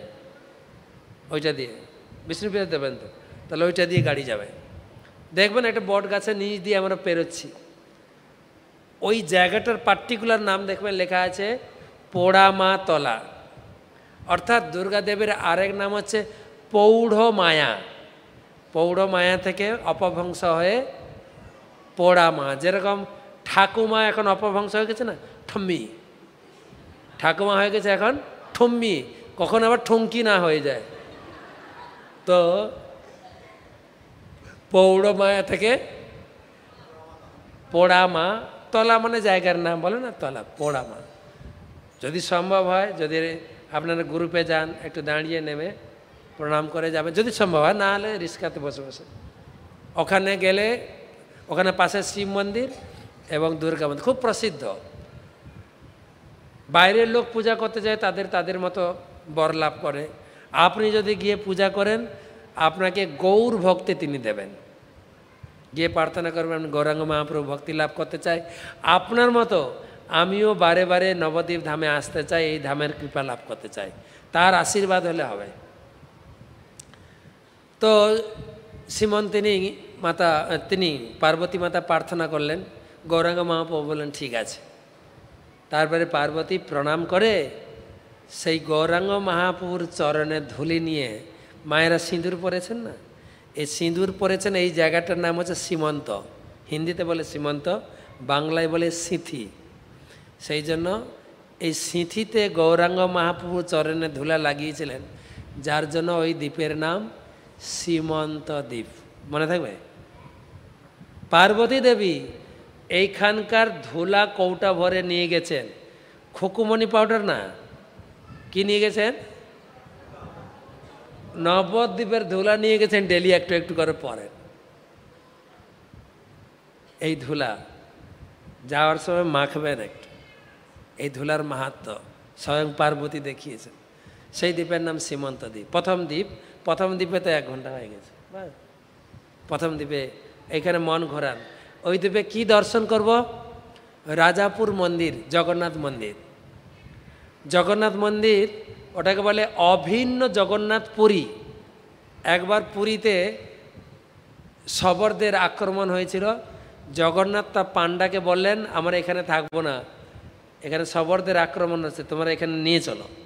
তো ওখান থেকে এখানে চলে এসেছেন। সাক্ষাৎ জগন্নাথ এখানে এসছেন। সেজন্য রাজাপুর ধাম বলে জগন্নাথপুরী ওখান থেকে আরে একটু দূরে গেলে ময়ামারি মাঠ আছে, যেখানে আমরা জলঙ্গি পেরোয়, এ পাটটা। ময়ামারি মাঠ। ময়ামারি মাঠ কেন? না, দাপর যুগে বলরাম কুরুক্ষেত্রের যুদ্ধে দুইজন ব্যক্তি ছিল না। জানেন, দুজন ব্যক্তির নাম ভাগবতম পড়বে। এক হচ্ছে বলরাম আর আরেকটা হচ্ছে বিদুর। বিদুরকে তো ঘর থেকে তাড়িয়ে দিয়েছিলেন, অপমান করেছিলেন কৌরবরা। আর বলরাম থাকছিলেন না একটা কায়দা করে। কারণ বলরাম সবসময় কৌরবদের পক্ষে কাজ করত। আর কৃষ্ণ কার পক্ষে ছিলেন? পাণ্ডবদের পক্ষে। তো অনেক কিছু পরিকল্পনা, অনেক কিছু করেছেন, কিন্তু বলরাম সাকসেস হয়নি। নিজের বোনটাকে বিয়ে দিতে চাইলেন দুর্যোধনের সঙ্গে। বোনটা সুভদ্রা। আর কৃষ্ণ কায়দা করে কায়দা করে মানে নিজের বন্ধু তো। কৃষ্ণ। কৃষ্ণের বন্ধু হচ্ছে অর্জুন। মাঝে মাঝে বেড়াতে যেতেন, ফুসলে বাসলে তাকে বলতেন, আমার বোনটা না তোমাকে লাভ করে হ্যাঁ? তোমাকে ছাড়ার কোনো চিন্তাই করে না। তুমি কি মনে করছ? খুব ভালো মেয়ে কিন্তু, খুব ভালো মেয়ে, হাতের কাজ ভালো জানে কিন্তু হ্যাঁ? প্রতিদিন একটু একটু করে ট্রেনিং দিতেন ট্রেনিং দিয়ে দিয়ে অর্জুনকে কনভিন্স করেছে। আবার ওখানে গিয়ে সুভদ্রাকে বলে এই, আমার সঙ্গে যে আমার বন্ধুটা থাকে, তোমার পছন্দ হয় না? তোমার পছন্দ হোক না হোক, ও কিন্তু তোমাকে পছন্দ করে। বারে বারে আমাকে বলে, তোমার বোনটা আমাকে বিয়ে করবে না? আমার বন্ধু কিন্তু, তুমি একদম খুঁত দেখবে না কিন্তু। একদম ধনুর্ধারী। একদম। পাঁচজনের ভিতরে একজনকে আমি বেছে নিয়েছি, সঙ্গে সঙ্গে ওর সঙ্গে ঘুরি, জানো? তুমি বিয়ে করবে না? আর সুভদ্রা, তার দুই ভাই, কৃষ্ণ আর বলরাম। বলরামকে ভয় করত। বলরাম একটু রাগি সবসময়। আর কৃষ্ণর সঙ্গে খুব মিশত। সেই জন্য কৃষ্ণকে বলতো, তুমি যেটা বলে আমি সেটা করব। বলে, আমি বলছি ওকে বিয়ে করো। ঠিক আছে, বিয়ে করব। কিন্তু দাদা তো চাইছে না। বলে, দাদা না চালে কী কর? আমরা একটু প্ল্যান করি না। বলছে, ঠিক আছে, হয়ে যাবে। ঠিক আছে? তো ওই পুরো কাহিনী আছে জুনাগড়ে। তো ওখানে সব চণ্ডী পূজা হচ্ছে আমরা যাব, সব চণ্ডী পূজা করতে। হ্যাঁ সব আসবে। আর তুমিও যাবে মেয়েদের সঙ্গে পূজা করতে। আর ওখানে গিয়ে অমুক জায়গায় থাকবে, আর আমরা গিয়ে হরণ করব। অর্জুন গিয়ে তোমাকে হরণ করবে মানে এখনকার দিনের যে মেয়েগুলো ঘর থেকে পালিয়ে বিয়ে করে না, ও সুভদ্রা শিখিয়েছে সবাইকে। জানেন? ওখান থেকে এসছে তো? তো সেই জন্য বলরাম দেখল যে, আর বলরামের শিষ্যই ছিল দুর্যোধন, অস্ত্র শিক্ষার শিষ্য ছিল। তো সেই জন্য বলরাম দেখছেন যে আমি এখানে থাকলে একে তো কৌরবরা জিতবে না, বেকার আমার সম্মানটাই, বেটার তিনি ঘর থেকে তীর্থ করতে করতে, ওদিকে যুদ্ধ স্টার্ট উনি তীর্থ ভ্রমণ করতে করতে এই নবদ্বীপে এসেছিলেন। এখানে এসেছিলেন বামনপুকুর বাজার পেরিয়ে, আপনারা দেখবেন বামনপুকুর বাজার নাম শুনেছেন। ব্রাহ্মণদের বাস ছিল। তো ব্রাহ্মণরা বলরামকে বললেন, বলরাম, এখানে একটা অসুর আছে, তুমি তো বৃন্দাবনে অনেক অসুর বধ করেছ। এখানে একটা ময় মানে অসুর আছে, ময়াসুর ময়াসুর, তাকে বধ করো। তো বলরাম তাকে বধ করেছিলেন, তাই ময়ামারি মাঠ, যে মাঠে বধ করেছিলেন, সেই মাঠের নাম হচ্ছে ময়ামারি মাঠ, সেটাও অপভ্রংশ হয়েছে। লোকে মায়ামারি বলতে পারে না, মারামারি মাঠ। আর সীমন্ত দ্বীপের কথাটাও অপভ্রংশ হয়ে গেছে। সীমন্ত দ্বীপের এখন নাম আমরা শাস্ত্র থেকে পড়ি সীমন্ত দ্বীপ। বর্তমান নাম লোকে গ্রামের নাম রেখেছে শিমুলিয়া। নাম কিন্তু কিছু কানেক্টেড আছে। জলঙ্গি পেরিয়ে যাব যাব গদ্রুম দ্বীপ। প্রথম দ্বীপ সীমন্ত, দ্বিতীয় দ্বীপ গদ্রুম, মনে রাখবেন। প্রথম দ্বীপ সীমন্ত দ্বীপ, দ্বিতীয় দ্বীপ, এবারে গদ্রুম। জলঙ্গি পেরিয়ে গদ্রুমে যাচ্ছি আমরা। গদ্রুম দ্বীপ। গদ্রুম দ্বীপের অর্থ কী? সীমন্ত দ্বীপের কেন নাম হলো? পার্বতী, গৌরাঙ্গ মহাপুর চরণ ধুলে সীমন্তে লাগিয়েছিলেন। ক্লিয়ার গদ্রুম দ্বীপ। গদ্রুম দ্বীপ কেন নাম হলো? গো মানে গাই বা গাভী। দ্রুম মানে বিশাল গাছ। মনে রাখবেন, একটা বিশাল গাছের নিচে ইন্দ্র তপস্যা করেছিলেন। গতকালকে মানে বলেছিলাম, ইন্দ্র কৃষ্ণ ইন্দ্র পূজা বন্ধ করলেন। কালকে বলেছিলাম না? কালকেই বলেছি। না, কালকেই বলেছি। ধর্ম সংস্থাপন, কথা বলতে গিয়ে কৃষ্ণ, তিনি ইন্দ্র পূজা বন্ধ করিয়ে গোবর্ধন পূজা করালেন। বলি নাই? ধর্ম সংস্থাপন কথাটা বলতে গিয়ে আমি বলেছি। তো মনে নেই আপনাদের? এনিও, গিরি গোবর্ধন ধারণ করেছিলেন? এটা শুনেছি, গিরি গোবর্ধন ধারণ করেছিলেন। কেন ধারণ করেছিলেন? ইন্দ্র বর্ষা দিয়েছিলেন, প্রচুর বর্ষা দিয়েছিলেন। তো পরে ইন্দ্র অপরাধ ক্ষমা চেয়েছেন ক্ষমা চেয়েছেন। কিন্তু ইন্দ্রের মনে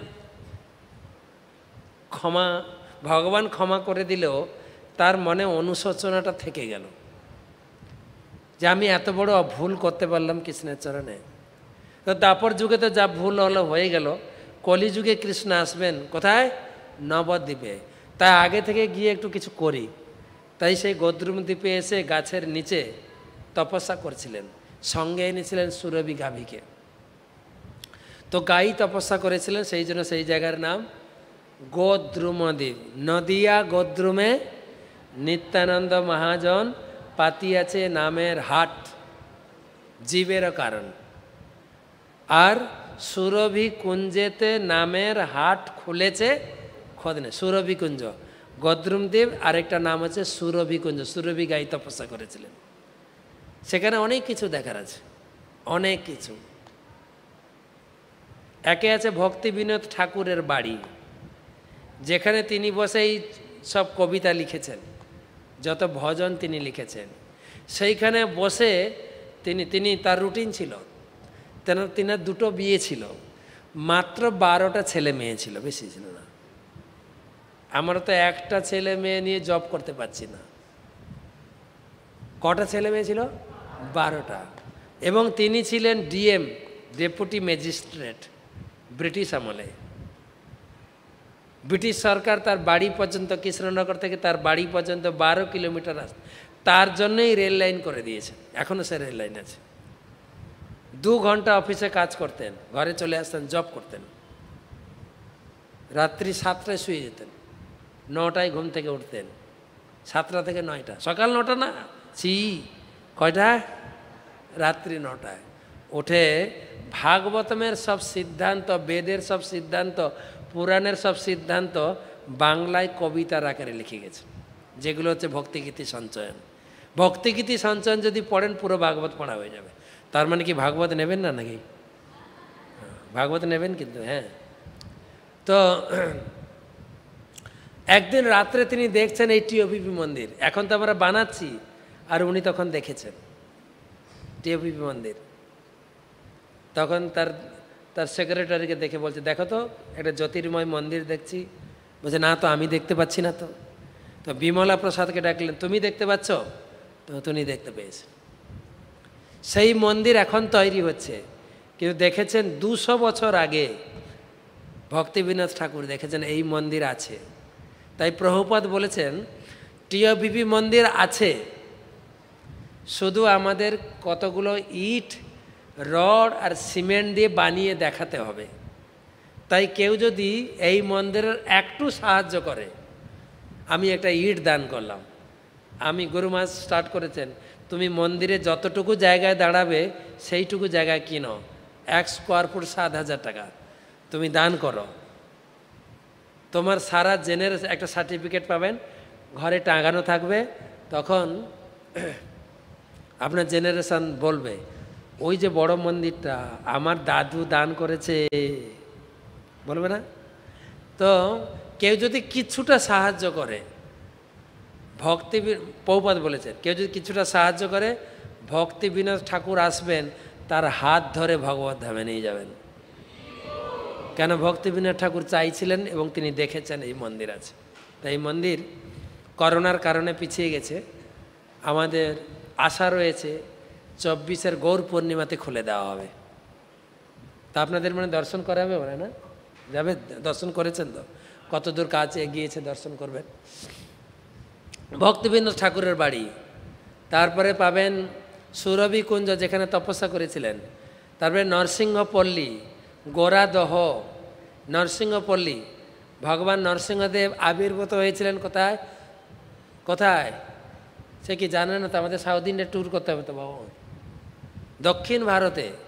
পল্লাদ পল্লাদের বাড়ি ছিল কোথায়? দক্ষিণ ভারতের অন্ধ্রপ্রদেশ, অহবিলম ধাম। সেখানে তিনি আবির্ভূত হয়েছিলেন প্রহ্লাদকে রক্ষা করার জন্য। প্রহ্লাদের উপরে অত্যাচার ছিল, অত্যাচার অত্যাচার আর অত্যাচার। প্রচুর অত্যাচার হয়েছিল, অত্যাচার। বাবা জিজ্ঞাসা করেছেন, প্রহ্লাদের উপরে কে অত্যাচার করেছিল? তার বাবা। আর আমাদেরও অত্যাচার সেরকম হয়। নিকট আত্মীয়রাই আমাদের অত্যাচার করে। তো অত্যাচার অত্যাচার সহ্য করতে পারে না। প্রহ্লাদকে জিজ্ঞাসা করে তোর কি হয়েছে? এত কিছু করছিস? তুই মরছিস না কেন রে? কি হয়েছে এটা কি? মরছিস না কেন? তো প্রহ্লাদ বলছে, আমি মরবো কি করে? তোমরা আমাকে আগুনের মধ্যে ফেলেছ। আগুন তো হচ্ছে আমার বাবার মুখ। আগুন হচ্ছে যজ্ঞকুণ্ড বলে না? যেখানে ঘিত আহুতি দেওয়া হয়। তোমরা আমাকে বিষ খাইয়েছ। বিষ তো হচ্ছে আমার মামা। বিষ মামা মানে? বিষ কী করে মামা প্রহ্লাদ তো তার নিজের মাকে মা বলছে না, তার মা বলছে লক্ষ্মীকে। বাবা হচ্ছেন বিষ্ণু। লক্ষ্মীর জন্ম হয়েছে কোথা থেকে? বলুন তো। আমরা হিন্দু লোক বলতে পারব না। আমির খানের কোথায় জন্ম হয়েছে বলতে পারব। আমির খানের কয়টা বিয়ে হয়েছে বলতে পারব। আমির খানের কয়টা ছেলে মেয়ে তা বলতে পারব। লক্ষ্মীর জন্ম তো বলতে পারব না। কেন? লক্ষ্মী পূজা করি আর হিন্দি গান বাজিয়ে নাচি। তাই তো? তা কী করে বলব? লক্ষ্মী কোথা থেকে জন্ম হয়েছে। তাই তো নাকি? বড় বড় ডিজে বাজবে কি বাজবে? হিন্দি গান? তাই না, বাজে না? লক্ষ্মীর জন্ম হয়েছে সমুদ্র মন্থন থেকে, সমুদ্র থেকে। সমুদ্র থেকে জন্ম হয়েছে। তাই সমুদ্র হচ্ছে লক্ষ্মীর পিতা, ভগবানের শ্বশুর, লক্ষ্মী সমুদ্র। তো সমুদ্র মন্থন থেকে আর কি কি এসছে? লক্ষ্মী এসছে ঐরাবত এসছে চাঁদ এসছে বিষ এসছে তো লক্ষ্মী যদি মা হয়, মায়ের ভাই কে হবে? মায়ের ভাই? আরে স্কুলে শোনেন না, স্কুলে শেখেননি স্কুলে আমরা খুব মজা করতাম। এই বলতো, মামা মায়ের কে হয়? বলছে, মার ভাই। ঠাস করে চড় লাগাবে। বলে, মারলে কেন? তুমি যে মার ভাই বললে, তুমি তো মারতেই বললে, মার ভাই, তাই মারলাম তোমাকে আমি। বলতে না? তো মামা, তো লক্ষ্মী মা, আর বিষ হচ্ছে, মা, মামা মা কী করে মারে? বিষ ভগবানকে নিবেদন করে খেত, মরতো না। তো তোমরা আমাকে সাপের উপরে ফেলেছ। সাপ তো হচ্ছে আমার বাবার বিছানা। সাপ বাবার বিছানা কি করে হলো? আমাদের ভগবান কোথায় শুয়ে থাকেন বলেন তো? সাপের উপরে শুয়ে থাকেন না? তো বাবার বিছানা, সাপের উপরে শুয়ে থাকেন কেন বলেন তো? আমরা যদি খুব ধনী হই, খুব টাকা পয়সা প্রচুর থাকে, আমরা কিন্তু এই গরমে বসবো না কিন্তু। এসিতে থাকব। ঘর AC car AC office AC থাকবে না? আর ভগবানের কত টাকা পয়সা আছে বলুন? তিনি এসিতে না জলেই শুয়ে আছেন জলেই না আবার সাপের উপরে। সাপের উপর কেন সাপের শরীরটা শীতল। কেউ আর পরীক্ষা করতে যায় না প্লিজ সাপের শরীরটা শীতল কিনা একটু দেখি। হ্যাঁ। আমার নামে কেস হয়ে যাবে আবার। সাপের উপরে শুয়ে থাকেন আর তার স্ত্রী পা দাবাচ্ছেন, তাই না? আর সাপ মাঝে মাঝে নড়াচড়া করে নড়াচড়া করে তার মানে ভালো মেসেজ হয়ে যায়। এখন একটা মেসেজ বেড বেরিয়েছে সেরাজেন আপনি শুয়ে পড়বেন, সুইচ টিপে দেবেন, টিক টিক টিক টিক করে মেসেজ হয়ে যাবে। অনেক টাকা অনেক টাকা লাগে। তো মারবে কি করে? মরছেই না। আরও অত্যাচার আরও অত্যাচার আরও অত্যাচার বাড়ছে। তখন নরসিংহদেব আবির্ভূত হয়েছে। নরসিংহদেব আবির্ভূত হয়ে হিরণ্যকশুকে বধ করেছেন। বধ করে ছুটছেন। আরও মারবো আরও যাকে পারব মারবো। দৌড়াতে দৌড়াতে ভগবান অহবিলম থেকে অন্ধ্রপ্রদেশ থেকে দৌড়ে দৌড়ে নবদ্বীপে এসছেন। আর পিছনে দেবতারা দৌড়াচ্ছেন। আর এই আরেক সমস্যা হয়ে গেছে। হিরণ্যকশিপু মারা গেছে, কিন্তু আরেক সমস্যা কি হয়েছে? হির নরসিংহদেবের ক্রোধ কমছে না। কেন প্রহ্লাদের উপরে এত অত্যাচার হয়েছে? নরসিংহদেবের হিরণ্যকশিপুকে বধ করার পরও শান্ত হচ্ছে না। আর যাকে পারব, মারবো। এই নবদ্বীপে এসছেন, সেখানে হাত ধুয়েছেন। সেই মন্দাকিনী নদীতে, সেই নদী পবিত্র, সেই নদীতে আমরা স্নান করি। তারপরে বসেছেন। আর বসছেন তো তুফানের মতো নাক দিয়ে গরম গরম হাওয়া, রাগের হাওয়া বেরোচ্ছে। সব দেবতারা দূর থেকে দাঁড়িয়ে আছেন। নরসিংহদেব যেখানে বসেছিলেন, সেই জায়গাটা হচ্ছে নরসিংহ পল্লী মানে গ্রাম নরসিংহ পল্লী দেবতারা যেখানে ছিলেন, সেখানকার নাম হচ্ছে দেবপল্লী। এখনও দেবতাদের হাউজিং আছে, নরসিংহদেবের হাউজিং এখনও আছে। আমরা নিয়ে যাই সেই জায়গা। তো দেবতারা দূর থেকে প্রার্থনা করেন, কাছে কেউ যাচ্ছে না ভয়ে। ব্রহ্মাকে বলছেন, আপনি যান, প্রভুকে একটু সামাল দিন। ব্রহ্ম আমি যাব না, আমার দাড়ি, চুল সব পুড়ে যাবে, আমি যাব না। ইন্দ্র, আপনি যান ইন্দ্র বললে, গেল না। তখন মা লক্ষ্মীকে বলছে, তুমি তো ঘরের ঘরণী হোম মিনিস্টার তুমি যাও, তুমি জানো প্রভুকে কীভাবে ঠান্ডা করতে হয়, যাও। আমি যাব না, প্রভুর এরকম চেহারা আমি কোনো দিন লক্ষ্মীও পিছিয়ে গেল, প্রভুর কাছে গেল না। এত নরসিংহদেবের ক্রোধের চেহারা। এই নরসিংহদেব চেয়ে আমাদের, উগ্র নরসিংহদেব।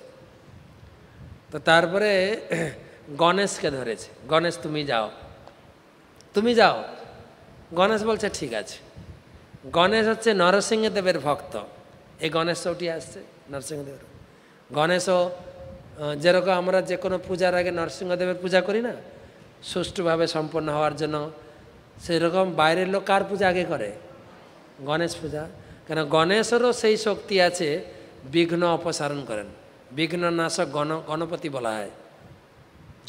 গণেশ যাচ্ছেন, তার মার্সেটিজ কারে বসে। তার গাড়ি কি গো? ইনোভা। তার গাড়ি কি? ইনোভা না টাটা সুমো? বাবা, এইটুকু ইঁদুরের ভিতরে এত বড় পেটবালা গণেশ। যাচ্ছেন, হেলে দুলে যাচ্ছেন।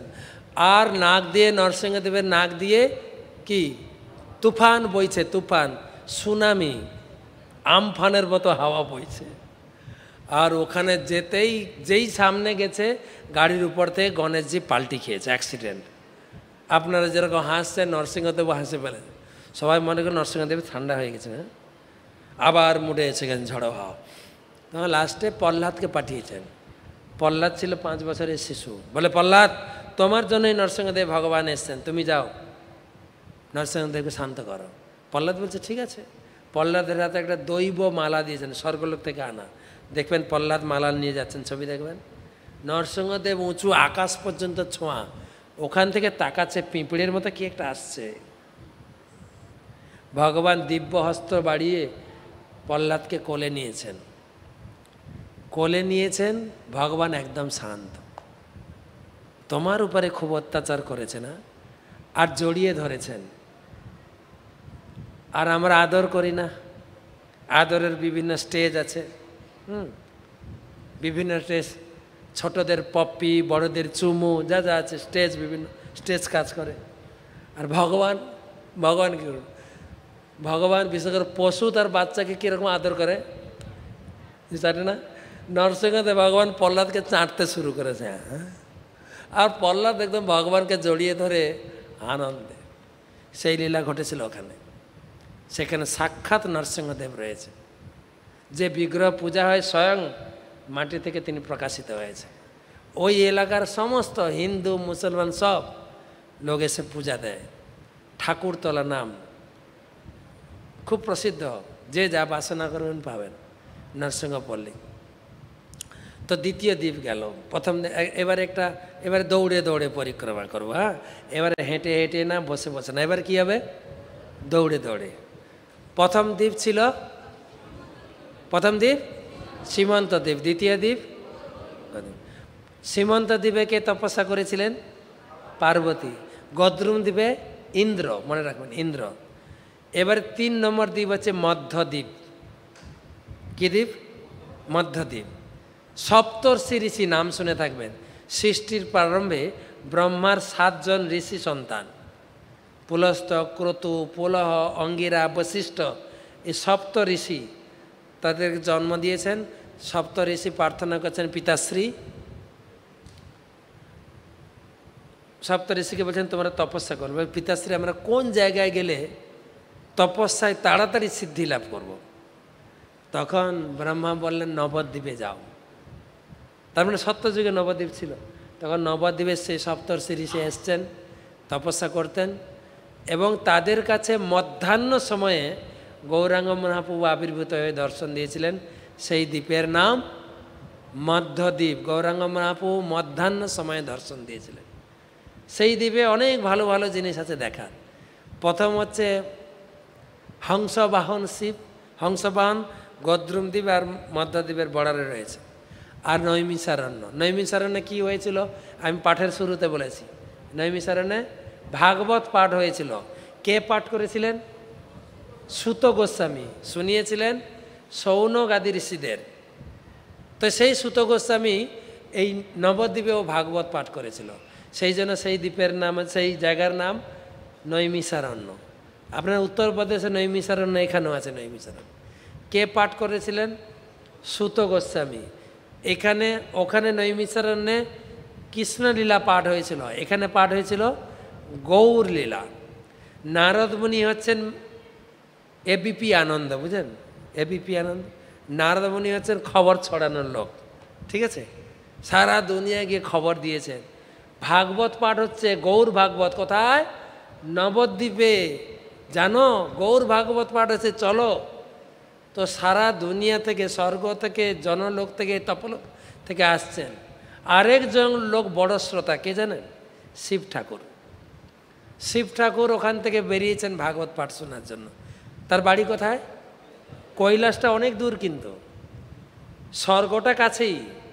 স্বর্গটা মনে করুন না, এখান থেকে বিষ্ণুপ্রিয়া, তারপরে নবদ্বীপ, তারপরে সমুদ্রগড়।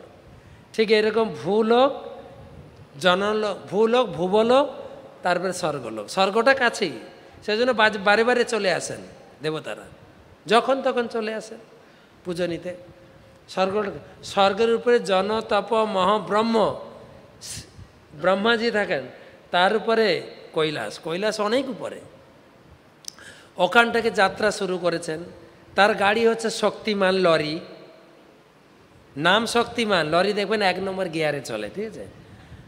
তার গাড়ি হচ্ছেন নন্দী। যত গিয়ার দেওয়ায় এক নম্বরের বেশি আর উঠে না। আর বেচারা চালু করেছেন কৈলাস থেকে। চিন্তা করছেন এই এক নম্বর গিয়ারে গাড়ি চললে তো মায়াপুরে ভাগবত ক্যাম্প তো শেষ হয়ে যাবে। আমি পৌঁছাতে পৌঁছাতে ক্যাম্প খতম। কোন রকম ঠেলে ঠেলে গাড়িটাকে নিয়ে এসেন ব্রহ্মলোক পর্যন্ত। ব্রহ্মার কাছে গিয়ে বলছেন, পিতাশ্রী, কেন শিবের বাবা আছেন ব্রহ্মাজি, পিতাশ্রী, ভারী মুশকিলে পড়েছি। বলে, কি মুশকিল আপনার? বলছে ভাগবত পাঠ হচ্ছে গীতা ভবনের হলে। তা আমি এখান থেকে যাব। আর আমার যা গাড়ি, কি বলব আর? কপাল আমার। এক নম্বর গিয়ার ছাড়া চলে না। এই গাড়ি নিয়ে যদি নবদ্বীপ পৌঁছায় আমার আর ভাগবত পাঠ শোনা হবে না। প্লিজ হেল্প মি বলছে ঠিক আছে, এত ব্যতিব্যস্ত হওয়ার দরকার নেই। তোমার গাড়িটা আমার গ্যারেজে পার্ক করো। আর আমার গাড়িটা নিয়ে যাও। ওনার গাড়ি হচ্ছেন হাঁস, হাঁসের উপরে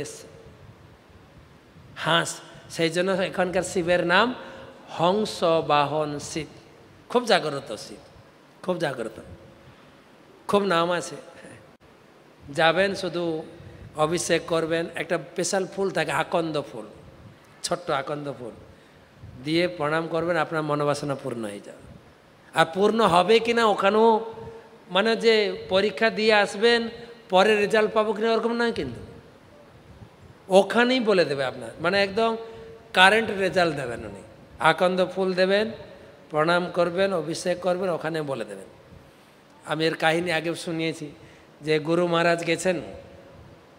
এই এই শ্রাবণ মাসে প্রচুর জল ঢালে না? শ্রাবণ মাসে গুরু মহারাজ গেছেন প্রায় দেশি বিদেশি বহু ভক্ত নিয়ে।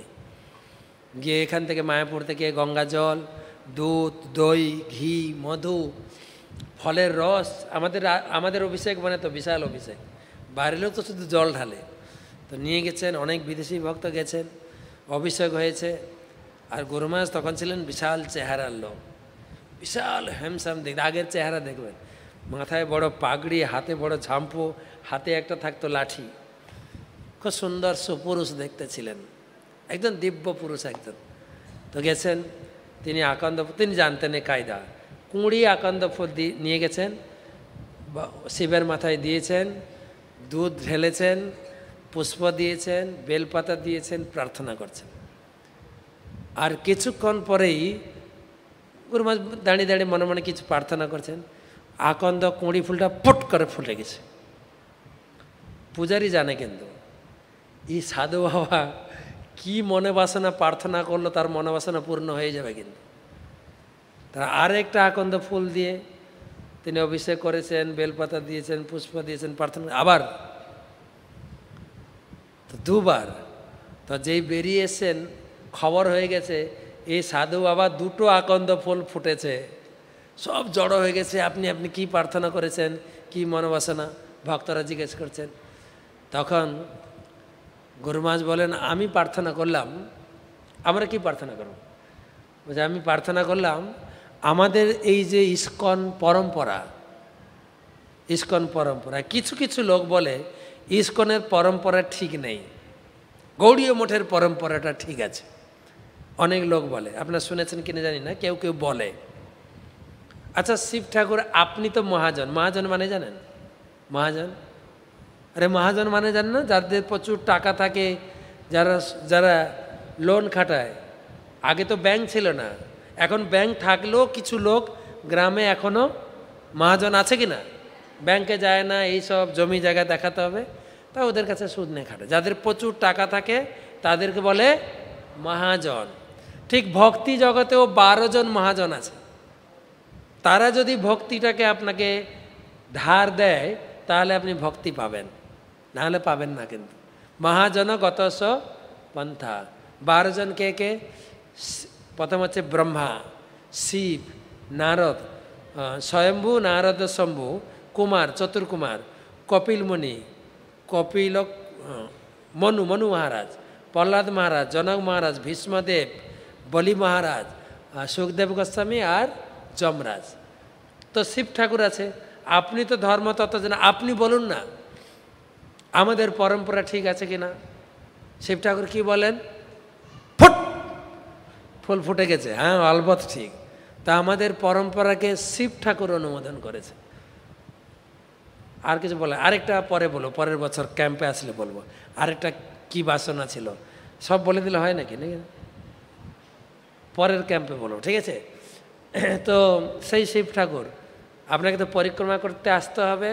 ওখানে শিব ঠাকুরকে, যে যা বাসনা করবেন, যদি কিন্তু একটা সমস্যাও আছে।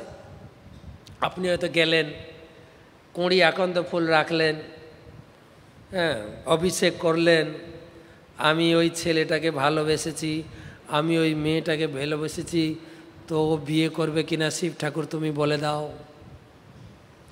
হয়তো শিব ঠাকুরের কাছে সেই ফুল ফুটলই না। তার মানে কি আমাকে বিয়ে করবে না? তো মুশকিল হয়ে যাবে আবার তার থেকে একটা না যাওয়া ভালো না।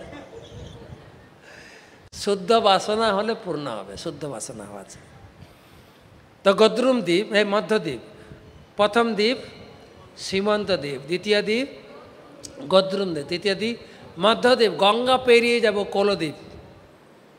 কোলদ্বীপ কোলদ্বীপ হচ্ছে নবদ্বীপ শহর, যেখানে কোল ভগবান বা বরাহ ভগবান আবির্ভূত হয়েছিলেন। কোলদ্বীপ। কলদ্বীপ সম্বন্ধে বেশি বলব না। কলদ্বীপের পরে চলুন জাহ্নদ্বীপ জাহ্নমণির নাম শুনেছেন? জাহ্নমণির নাম শুনেছেন না? ব্রহ্মার সন্তান, জাহ্নমণি খুব প্রসিদ্ধ। তিনি নবদ্বীপে তপস্যা করেছিলেন। তার সামনে গৌরাঙ্গ মহাপ্রভু আবির্ভূত হয়েছিলেন। আপনার নাম শুনবেন, গঙ্গা নিয়ে এসেছিলেন কে? ভগীরথ মহারাজ। গঙ্গাকে এই পথ দিয়ে নিয়ে এসেছিলেন। যেই গঙ্গা যেভাবে চলছে না, এটাই ছিল। জন্মমুনির আশ্রম ছিল। জন্মমুনির আশ্রম ছোট্ট কুটির ছিল আর ভগীরথ রথে বসে তিনি শঙ্খ ফুঁকতে ফুঁকতে চলছেন, রাস্তা দেখিয়ে নিয়ে যাচ্ছেন আর গঙ্গা পিছনে পিছনে চলছেন। আর গঙ্গার বিশাল স্রোত পুরো জন্মমণির আশ্রমকে ভাসিয়ে নিয়ে চলে গেছে। জন্মমণি ধ্যানে ছিলেন, কিছুক্ষণ ধ্যান ভেঙে দেখেন, আমি জলে ভাসছি। এই কোথাকার জল? ধ্যানে জানতে পারলেন কি জল? কি জল? গঙ্গা জল। আর মণিরা হঠাৎ রেখে যায় তো? এরকম অঞ্জলি করেছেন। পুরো যোগ বিভূতি দিয়ে পুরো জলকে এই অঞ্জলিতে নিয়ে এসে পুরো গঙ্গা জল কোথায় এখন? এই অঞ্জলিতে। পুরো গঙ্গা জল। কত বড় মণি দেখেন। তারপরে এরকম এক টান দিয়েছেন। পুরো টেনে নিয়েছে গঙ্গা জল। পুরো গঙ্গা জল কোথায়? পেটের ভিতরে। আর ভগীরথ পিছন দেখে গঙ্গা নেই, একদম গঙ্গা চিহ্নই নেই। পরে জানতে পারলেন এই লোকটা পান করেছে। তার চরণে ক্ষমা প্রার্থনা করলেন, আর দিকে গঙ্গা ভিতরেও ক্ষমা প্রার্থনা করছে। কারও চরণে যদি অপরাধ হয়, যদি মাতাজির চরণে বা প্রভুদের চরণে, প্রভুকে আপনাকে বাবা বা গুরু বলে স্বীকার করতে হবে, তাহলে অপরাধ ক্ষমা হবে। মাতাজিকে মা বলে স্বীকার করতে হবে মাসি। যেন গঙ্গা ভিতর থেকে ক্ষমা চাইলেন। কেন? পিতামাতা বা গুরুদেব শিষ্যের অপরাধ নেন না। পিতামাতা ছেলেমেয়ের অপরাধ নেন না। যেন গঙ্গা এই টিক্সটা জানতো পিতাশ্রী আমাকে ক্ষমা করে দিন। ভিতর থেকে বলছেন, সরি, আমাকে ক্ষমা করে দিন। সেই জন্য গঙ্গার পিতা হচ্ছেন জাহ্নমণি। গঙ্গার আরেক নাম জাহ্নবী। তো সেই জন্মমণির আশ্রম ছিল জন্মমণি আশ্রম, সেই জন্য জন্মদ্বীপ, জন্মদ্বীপের পরে কত, কতগুলো দ্বীপ হলো? হ্যাঁ? পাঁচটা হয়ে গেছে না? আর চারটা, তাড়াতাড়ি করে দেবো ঋতুদ্বীপ ঋতু ঋতু এখন কোন ঋতু চলছে? বর্ষা নাকি শরৎ? শরৎ শরতে ঢুকে গেছে। হ্যাঁ? শরতে ঢুকে গেছি আমরা। ছটা ঋতু না? ছটা ঋতু ছটা ঋতুর মূর্তি আছে যেরকম গঙ্গার জল, গঙ্গার মূর্তি আছে না? সেরকম ঋতুরের মূর্তি আছে কিন্তু। ছয় ঋতু একসঙ্গে ওখানে যখন নিমাই মায়ের গর্ভে ছিল, জন্মায়নি। ছয় ঋতু এখানে বসে মিটিং করছেন। আমাদের প্রভু জন্মগ্রহণ করবেন, আমাদের আরাধ্য দেবতা। তো কি ভাবছি আমরা? আমাদের মধ্যে কার ঋতুতে তিনি আসবেন? কে কি ভাবছ? গ্রীষ্ম, প্রথমে গ্রীষ্ম হাত তুলছে আমি বলব হ্যাঁ বলো। আমার ঋতুতে আমার ঋতুতে তিনি আসবেন। বর্ষা হাত তুলে বলছে, আমি বলব। বর্ষা বাত গ্রীষ্ম ঋতুতে আসে নাকি? ঘামের দুর্গন্ধ হ্যাঁ। বর্ষা ঋতুতে আসে বর্ষা। বর্ষার জল পড়লে গাছপালা একদম সবুজ শস্য দানা ফুটে যায়। কৃষকের মনে আনন্দ এসে যায়। তখন শরৎ হাত তুলেছে হা হাই রে, বর্ষার কি প্যাচ পেচে কাদার দুর্গন্ধ? আমার ঋতুতে আসবে শরতের ছায়া। এসেছে শরৎ, হিমের বরস। আছে না? তো লেগেছে আওয়ার পরে আপনারা জানেন ভুলে গেছে। তো শরৎ বলছে, আমার ঋতু এই নিয়ে সবাই ঝগড়া করছে। ঋতুরাজকে বসন্ত বলছে, থামো থামো থামো থামো থামো থামো। সবাই নিজেরা ঝগড়া করে লাভ নাই। ভগবান কিন্তু আমরা চাইলেও আসবেন না। ভগবান আমাদের ইচ্ছাতে আসবেন না। ভগবান কার ইচ্ছাতে আসবে? তার ইচ্ছাতে আসবেন যেরকম আমাদের শিশুরা জন্মগ্রহণ করছে এখন, কার ইচ্ছায়? ডাক্তারের ইচ্ছায়। মায়ের ইচ্ছায়ও না। মা যদি বলে, না, আমার স্বাভাবিক প্রসব প্রসব হবে। ডাক্তার ছেড়ে দেবে নাকি? এত টাকা দিয়ে ডিগ্রি করেছি। রিস্ক নিও না, তুমিও মরবে, বাচ্চাটাও মরবে। কেটে দিন কেটে দিন কেটে দিন কেটে দিন। বাহ! তো, বাচ্চার, আমাদের বাচ্চা জন্মাচ্ছে ডাক্তারের ইচ্ছায়। কিন্তু ভগবান আসবেন কার ইচ্ছায়? তা আমরা ঝগড়া করে লাভ নেই, একটা কাজ করো। এটা আমরা করি। তিনি তার ইচ্ছায় জন্মগ্রহণ করবেন। তিনি যখন জন্মগ্রহণ করবেন, তখন আমরা সবাই একসঙ্গে এসে তাকে পূজা করব। তাকে স্বাগতম জানাব আমাদের দেশে। তাই দেখবেন, যখন গৌর পূর্ণিমার সময় আমরা পরিক্রমা করে, দেখবেন সব ঋতুর স্পর্শ পাবেন। একটু হালকা গরম থাকবে, দু চার পশলা বৃষ্টি একটু মুখ দেখিয়ে দিয়ে যাবে আপনাকে। দু চার পশলা পড়বে এই বৃষ্টি। তারপরে শরতের ছোঁয়া, শীতের ছোঁয়া সব পাবেন আপনি। এই হচ্ছে ঋতুদ্বীপ। খুব সুন্দর জায়গা ঋতুদ্বীপটা। সেখানে আছে চাঁপা হাটি। চাঁপা ফুল, জানেন চাঁপা ফুল। অনেক রকম চাপা আছে কিন্তু। গোলক চাপা, কাঁঠালি চাপা, স্বর্ণ চাপা। স্বর্ণ চাপা এইটুকু ফুল ছোট ফুল। স্বর্ণের মতো দেখতে। সুন্দর সুগন্ধ। প্রচুর দামি ফুল কিন্তু। কিন্তু বাজারে পাওয়া যায় না কেন না, ওই ফুলটা একদিনের বেশি থাকে না, পরের দিন খুলে যাবে। যার জন্য ফুল ব্যাপারীদের কোনো কাজে লাগে না ওটা। বাড়িতে থাকে বাড়িতে গাছ থেকে তুলে ভগবানের সেবা লাগায়।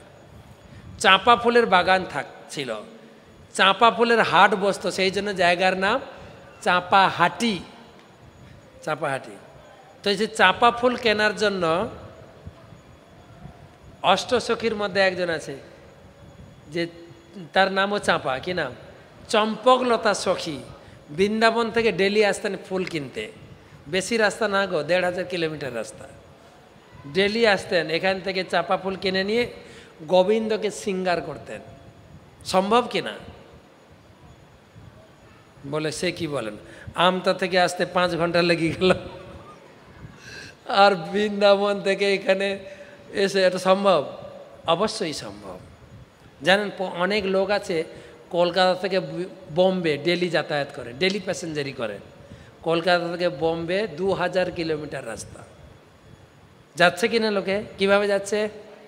উড়ে। এ তো পেট্রোল বিমান। গোপীদের ছিল পুষ্প বিমান, মনের বিমান। মনের গতিতে চলতো। কেন সম্ভব নয়? তো সেই চাপাহাটি আছে, রাধাকুণ্ড, শ্যামকুণ্ড। আর আছে আপনার বিদ্যানগর, অদ্ভুত কাহিনী। এই যে গীতা ভাগবতম বেদ পুরাণ, এরও মূর্তি আছে।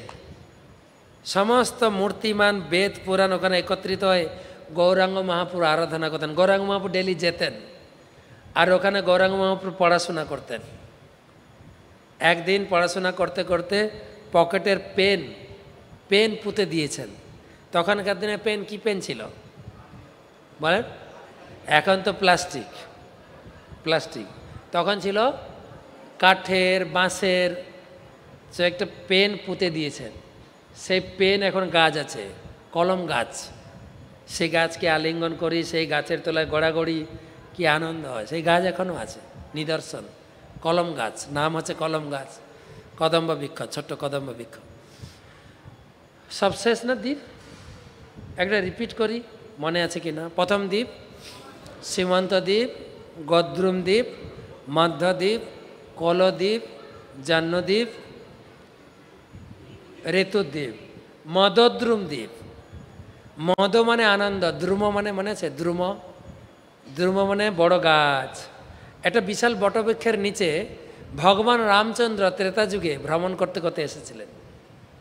ভগবান রামচন্দ্র ত্রেতা যুগে এসেছিলেন না? চৌদ্দ বছর বনবাস ছিল না? তিনজন ঘুরেছিলেন বনবাসে কে কে? রাম, লক্ষণ, সীতা। তারা ঘুরতে ঘুরতে নবদ্বীপে এসেছিলেন। নবদ্বীপে সেই বট গাছের নিচে দাঁড়িয়ে দূরে অনেক গাভী চড়তে দেখে আনন্দ করছিলেন। মা সীতা জিজ্ঞেস করছেন, প্রভু, আপনার খুব আনন্দ দেখছি এখানে, কি ব্যাপার? তখন প্রভু বলছেন শীতে রামচন্দ্র সীতাদেবী কি বলে ডাকতেন? শীতে খুব আদর করে ডাকতেন হ্যাঁ? জনক নন্দিনী শীতে শীতে তো আমরা এখন ত্রেতা যুগে না, ত্রেতা যুগে রয়েছি।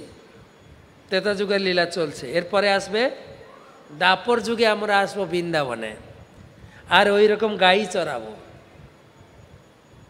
আর তারপরের যুগ হচ্ছে কলিযুগ। কলিযুগে আমাদের এখানে আসতে হবে।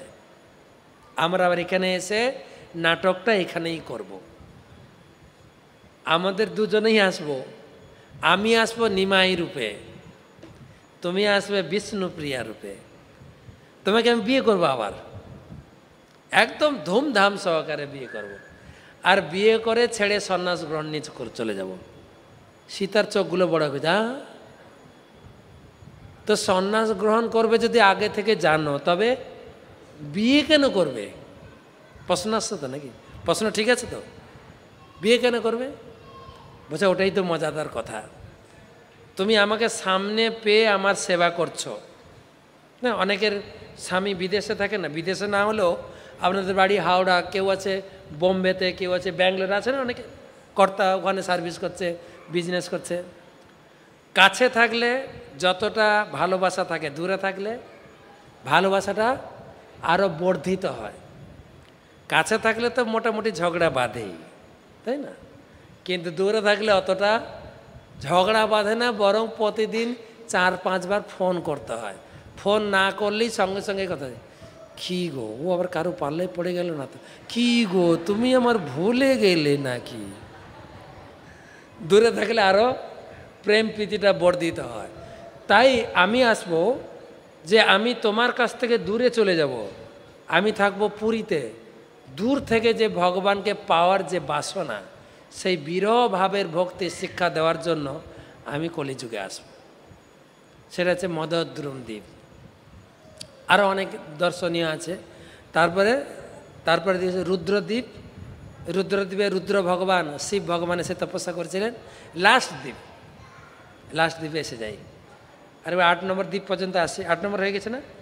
সীমন্ত দ্বীপ, দেখেন তো যারা লিখছেন মিলছে কি না সীমন্ত দ্বীপ, গদ্রুম দ্বীপ মধ্যদ্বীপ কলদ্বীপ জন্মদ্বীপ ঋতুদ্বীপ মদদ্রুম দ্বীপ রুদ্রদ্বীপ আটটা হয়েছে না? শেষ দ্বীপ হচ্ছে অন্তর্দ্বীপ। অন্তর্দ্বীপে আমরা বসে আছি। এটা হচ্ছে অন্তর্দ্বীপ, আমরা যেখানে বসে আছি। এই অন্তর্দ্বীপের মূল জায়গা হচ্ছে যোগপীঠ। যাবে না? যাবে না। যদি বৃষ্টি না হয়, যদি বৃষ্টি না হয়, আমরা যাব দর্শন করে। বা আপনারাও দর্শন করে আসবেন। যোগপীঠ। যোগ মানে ভগবান উপর থেকে এসে যেখানে যোগ দিয়েছিলেন, যে মাটিতে যোগ দিয়েছিলেন। সেটা যোগপীঠ। সেটা হচ্ছে মহাপ্রভুর জন্মস্থান। তার নাম হলো অন্তর্দ্বীপ কেন? ব্রহ্মাজি কৃষ্ণলীলায় অপরাধ করেছিলেন। করেছিলেন? কি অপরাধ করেছিলেন? হ্যাঁ? ভগবান একদিন অঘাসুর বধ করে খেতে বসেছেন বন্ধুদের সঙ্গে। বৃন্দাবনে ষোলোটা বট গাছ আছে বলেছিলাম। একটা বট গাছের নাম আছে অক্ষয় বট। ঘর থেকে যেরকম মায়েরা বাচ্চারা পড়তে যায় না, খাইয়ে দেন আর টিফিন দিয়ে পাঠান, তাই তো? তো তখন তো টিফিন বক্স ছিল না, কি বলে, পুটলি না পুটলা? পুটলি বেঁধে দিতেন। তো বাচ্চারা সেই পুটলি নিয়ে অক্ষয় বটে টাঙিয়ে রাখতো। অক্ষয় বই টাঙালে কী হবে? অক্ষয় থাকবে পুটলিতে কমবে না, ঠিক আছে? আমরা বৃন্দাবনে যে অক্ষয় বট দর্শন করাই বলি, আপনার মানি পাসটা কিছুক্ষণ অক্ষয় বটে রেখে দেন। যত খরচা করবে না টাকা শেষ হবে না। যা টাকা বাঁচবে, আমাদের দিয়ে চলে যাবে ব্যাস। তো বসে খাওয়া দাওয়া করছেন। অঘাসুর বদের পরে খাওয়া দাওয়া করছেন। তিনটা অসুর পাঠাতেন কংস প্রতিদিন। তখন তো ঘড়ি ছিল না। যে বারে বারে ঘড়ি দেখছেন, কটা বাজে, মহারাজটা তখন বক বক করছে, কি তখন ঘড়ি ছিল না। সেই জন্য ঘর থেকে যে টিফিন নিয়ে যেত তারা তো খেলাধুলায় মত্ত থাকতেন। কংস সকালে একটা অসুর পাঠাতেন, অসুর বধ করার পরে মনে পড়তো, এই, খিদে লাগছে না? চল, চলো বসে খাই। আপনারা দেখবেন সুলভ ভোজনালয়ের ছবি আছে। সব বন্ধুরা মিশে কি করে একসঙ্গে খাচ্ছেন। তারপরে আবার খেলাধুলা স্টার্ট দুপুরে একটা অসুর বধ করবেন, আবার দুপুরে টিফিন তো আছে, অক্ষয়, ওগুলো খাচ্ছে। তারপরে সন্ধ্যার সময় একটা অসুর বধ করে, এখন মানে ঘর যাওয়ার সময় চলো, চলতেন। তো খাওয়া দাওয়া করছে, অসুর বধ করে, টিফিনগুলো খাচ্ছে। প্রত্যেকের বাড়ি পুটলি খুলে খাচ্ছেন নিজে নিজের। সবাই ভালোবাসে কাকে? কানাইকে, কৃষ্ণকে। এখন খেয়ে দেখছি লাড্ডু। আহ! মা কত সুন্দর লাড্ডু বানিয়েছে হেভি টেস্টি। কানাই, তুমি খেয়ে দেখো না একটু। আমার মা কত সুন্দর লাড্ডু বানিয়েছে। মুখ থেকে বের করে, খেয়ে দেখছে টেস্টি, খাওয়াচ্ছে কানাইকে। কানাইও খাচ্ছে আদরে। কেউ যে দেখো দই ভাতটা কত সুন্দর, খাওয়াচ্ছে। এদিকে মধুমঙ্গল সে পেটুক, জানো তো মধুমঙ্গল, ব্রাহ্মণ ব্রাহ্মণ ছেলে পাতলা, সরু পেটে গরু ধরে, যারা পাতলা পেট না, প্রচুর খেতে পারে, প্রচুর খায়, প্রচুর খাচ্ছে। আর ও বাড়ি থেকে নিয়ে গেছে ঘোল, কি বলে ঘোল ঘোল? ঘোল, আমাদের কি বলে? বাটার মিল্ক, ঘোল নিয়ে গেছে, ঘোল নিয়ে গেছে, দেখছে, হ্যাভি টেস্টি। ও দেখছে কানে কানে এখানে নেই। কানে খে কানাই খেয়ে নেবে। ও পুরো ঢক ঢক করে মুখে ঢেলেছে। আর এত ঢেলেছে না গিলতে পারছে না ফেলতে পারছে। মুখ পুরো ভর্তি হলে গেলা যায় না কিন্তু। মুখ বন্ধ করে। কৃষ্ণ চিন্তা করছে আরে মধুটা গেল কোথায়? আর গিয়ে দেখছে মধু মুখ ফুলিয়ে বসে আছে আর গিলতেও পারছে কৃষ্ণ কি করেছেন? মুখটাকে মধুর মুখে সেট করেছেন মধুর মুখে। সেট করেছেন। দিয়ে দুই আঙ্গুল দিয়ে চাপ দিয়েছেন। পুরো মধুর মুখ থেকে পিচকিরি আকারে সব ঢোকেছে কৃষ্ণের গালে। তো উপর থেকে ব্রহ্মা দেখছেন। শুনেছি কৃষ্ণ বৃন্দাবনে এসছেন। এটাই তো কৃষ্ণ নাকি? এটা কৃষ্ণ। কিন্তু সবার এঁঠো খাচ্ছে কেন? কৃষ্ণকে কীভাবে ভোগ লাগাতে হয়? বলুন। আমরা কীভাবে শিখেছি? প্রভুরা কীভাবে শিখিয়েছেন? শুদ্ধভাবে রান্না করবে, শুদ্ধভাবে ভোগ সাজাবে, ভোগ শুদ্ধ করবে, তুলসী পাতা দেবে, দরজা বন্ধ করবে ঘন্টি বার তুমি শুদ্ধ হবে, আচমন করবে, তারপরে মন্ত্র বলবে আর ভগবানকে আহ্বান করবে। ইদম আচমনিয়ম, ইদম আসনম প্রার্থনা করবে, তারপরে ইদম নৈমাল্য স্নায়নম, কৃষ্ণকে নিবেদন করবে।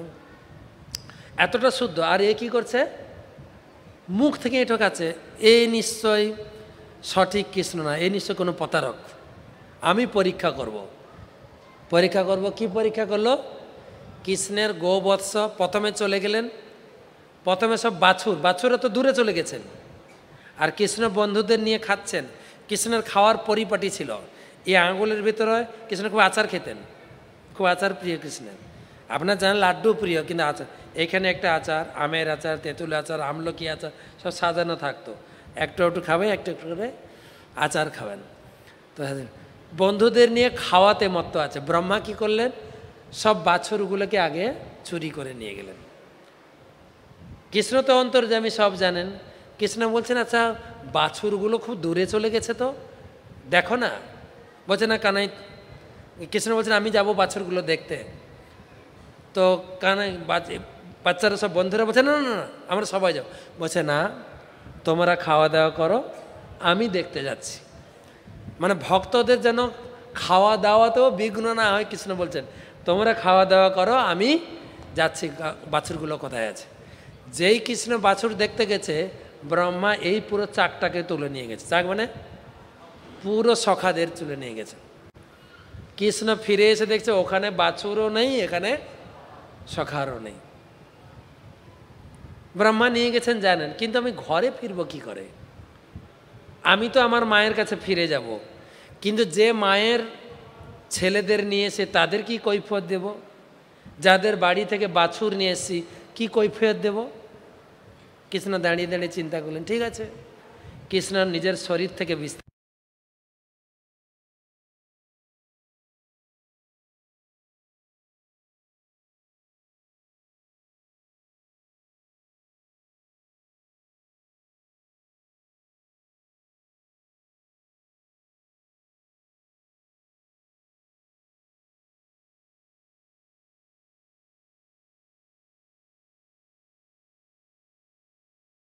চলে, কেউ হাঁটতে হাঁটতে চলে, কেউ টিটকারি করে কথা বলে, কেউ মিষ্টি সুরে কথা বলে। বাছরগুলোর কালার কোনটা কালো, কোনটা ছিপা, কোনটা সাদা, কোনটা লালচে, যার যেরকম স্বভাব, যার যেরকম ভাব, যার যেরকম কালার, সব একইভাবে তৈরি করে কৃষ্ণ ফেরলেন। বৃন্দাবনে কেউ টের পেলেন না, কি ঘটেছে? পুরো এক বছর কেটে গেছে। সেই এক বছরের ভিতরে পৌর্ণমাসী তিনি ঘোষণা দিয়েছেন। ঘোষণা দিয়েছেন। একটা লীলার ভিতরে কতগুলো শিখাচ্ছেন একে তো ব্রহ্মাকে তিনি তার অহংকারকে চূর্ণ করবেন। আরেকটা শিক্ষা আমি দেখাচ্ছি, দেখেন। আরেকটা শিক্ষা, পৌর্ণমাসী ঘোষণা করলেন বৃন্দাবনে। এই বৃন্দাবনে যত ছোট বড় মেয়ে আছে, অবিবাহিত মেয়ে, যত মেয়ে আছে এই এক বছরের ভিতর সব বিয়ে দিয়ে দাও। লগ্ন টগ্ন দেখতে হবে না। বিয়ে দিলেই হবে। যত মেয়ে আছে বিয়ে দিয়ে দাও এই এক বছরের ভিতরে। তাহলে তোমাদের মেয়েরা সৌভাগ্যবতী ধন ধান্যে খুব সুখে শান্তিতে থাকবে। তার কথা মতো সব বিয়ে দিয়েছে। কার সঙ্গে বিয়ে হয়েছে? সব মেয়েগুলো কার সঙ্গে বিয়ে হয়েছে? কার সঙ্গে? জোরে কৃষ্ণের সঙ্গে বিয়ে হয়েছে। কেন সব বাড়িতে কৃষ্ণ ঢুকে গেছেন। ঢুকে গেছেন না? আর সেই মেয়েগুলোকে নিয়ে তিনি রাসলীলা করেছেন। তো কৃষ্ণ কার বউর সঙ্গে রাসলীলা করেছেন? কার কৃষ্ণ কার বউর সঙ্গে রাসলীলা করেছেন? নিজের বউকে নিয়ে যদি আপনি ঘরে নাচেন, আপনার বলার কি আছে? কেউ যদি তার নিজের বউকে নিয়ে ঘরে নাচানাচি করে, আপনার বলার কি আছে? জানি না আমরা তত্ত্ব জানি না বলে আমরা গালাগালি করি, কৃষ্ণ অন্যের বউকে নিয়ে। মোটেই না তো। লোকে কেন গালাগালি দেবে? যেহেতু গীতা ভাগবতম পড়ে না। সব ঘরে কৃষ্ণ ঢুকে গেছেন। বলরাম সেদিন ছিলেন না সেই লীলাতে। বলরাম দেখছেন বৃন্দাবনে কৃষ্ণকে আগের মতো কেউ ভালোবাসছে না। মা যশোদা ছাড়া আগের মতো কৃষ্ণকে আর কেউ ভালো সবাই নিজের ছেলেকে বাদ দিয়ে কৃষ্ণকে ভালোবাসত। কিন্তু এখন আর কেউ কৃষ্ণকে ততটা ভালো কেন? সব ঘরে তো কৃষ্ণ ঢুকে গেছে। তাই না? এমনকি গাইও গাই নিজের বাছরকে বাদ দিয়ে কৃষ্ণকে দুধ খাওয়াতো। এখন বাছরগুলোও কে? কৃষ্ণই। তো এক বছর পরে ব্রহ্মা বললেন, গিয়ে দেখি তো কৃষ্ণের কি অবস্থা। এক বছর পরে দেখলেন, কৃষ্ণের যেরকম অবস্থা ছিল যেরকম সখারা ছিল, যেরকম বাছুর ছিল ওই রকম ছিল। ব্রহ্মা মনে করলেন, বিশাল ভুল হয়ে গেছে। তাই ব্রহ্মা এসে ক্ষমা চাইলেন। ব্রহ্মাকে ক্ষমা করে দিলেন। কিন্তু ব্রহ্মার মনটা সন্তুষ্ট হলো না। যে আমি এত বড় একটা ভুল করলাম, আমি কৃষ্ণকে জগতে অবতরণের জন্য নেমন্তন্ন করে এসেছি, আর আমি তার চরণে ভুল করলাম। কোনো বড় ব্যক্তি হলে না প্রচুর অনুশোচনা হয়। ছি, আমি আর কোনোদিন কৃষ্ণের সামনে মুখ দেখাতে পারব না পারব না। তখন ব্রহ্মা চিন্তা করলেন যে এই লীলায় তো যা গেল গেল, আমার অপরাধ গেল, আমার জীবনটাই গেলই। পরের যুগে কৃষ্ণ আসবেন কোথায়? নবদ্বীপে। আগে ভাগে যাই কিছু একটা ব্যবস্থা করে। ব্রহ্মা এলেন সেই জায়গায় অন্তর্দ্বীপে তপস্যা করতে। বহুকাল তপস্যা করলেন। তপস্যা করার পরে তখন মহাপ্রভু আবির্ভূত হননি ব্রহ্মার সামনে আবির্ভূত হলেন। পিতামহ ব্রহ্মা, আপনি এখানে? বলছেন, প্রভু, এই অধমকে এত বড় সম্মান দিয়েন না। আমি খুব অপরাধী। আপনার চরণে যে অপরাধ করেছি, তার গ্লানি আমাকে কুরে কুরে খাচ্ছে। ভগবান বলেন আমি তো আপনাকে ক্ষমা করে দিয়েছি। বলছেন, প্রভু, আপনি মহান। আপনি তো ক্ষমা করে দিয়েছেন। কিন্তু আমার মন যে মানছে না, এত বড় ভুল আমি কি করে করলাম? প্রভু, আমার একটা মনের বাসনা যদি পূরণ করেন, আমি খুব শান্তি পাই। বলছে, বলুন মানে আমার অন্তরের বাসনা হচ্ছে, আমার এই বড় পদ না, ব্রহ্মপদ, সব সর্বশ্রেষ্ঠ জীব ব্রহ্মা, এই পথটা থেকে হাঁটিয়ে দেন আমাকে। আমাকে একদম নিচু কুলে জন্ম দিন তাহলে আমার আর অহংকার হবে না। আমার অহংকার হবে না। ভগবান বললেন, ঠিক আছে, আমার নবদ্বীপের নাটকে একটা প্লেয়ার লাগবে। নবদ্বীপ লীলাতে আমার একটা লোক লাগবে। আপনাকেই নেব। আপনাকে জন্ম দেব জবন কুলে। আপনাকে দিয়ে নাম প্রচার করাবো। হরিনাম করতে গেলে যে কত সহ্য করতে হয়, কত লাঞ্ছনা গঞ্জনা গ্রহণ করতে হয়, তাকে বাইশ বাজারে পিঠে, আপনাদের তো টুকটাক কটুক্তি করে। হ্যাঁ ফোঁটা কেটেছে। হ্যাঁ আবার মালা জব, এই বয়সে? ছি, লজ্জা লাগে না? বলেন লোকে, এই দু চারটা কথা শুনতে হয়, কিন্তু হরিদাস ঠাকুরকে পিটিয়েছে, বাইশটা বাজারে পিটিয়েছে। পিটিয়েছে না?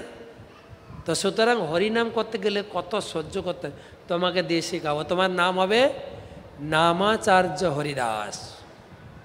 তো হরি, ব্রহ্মার অন্তরের বাসনা ব্রহ্মা ব্রহ্মার অন্তরের বাসনা মহাপ্রভু পূরণ করেছিল। সেই জন্য সেই দ্বীপের নাম জোরে অন্তর্দ্বীপ আমার গুরুদেব বলেন, তোমরা মায়াপুর এলে অন্তর্দ্বীপে যাবে।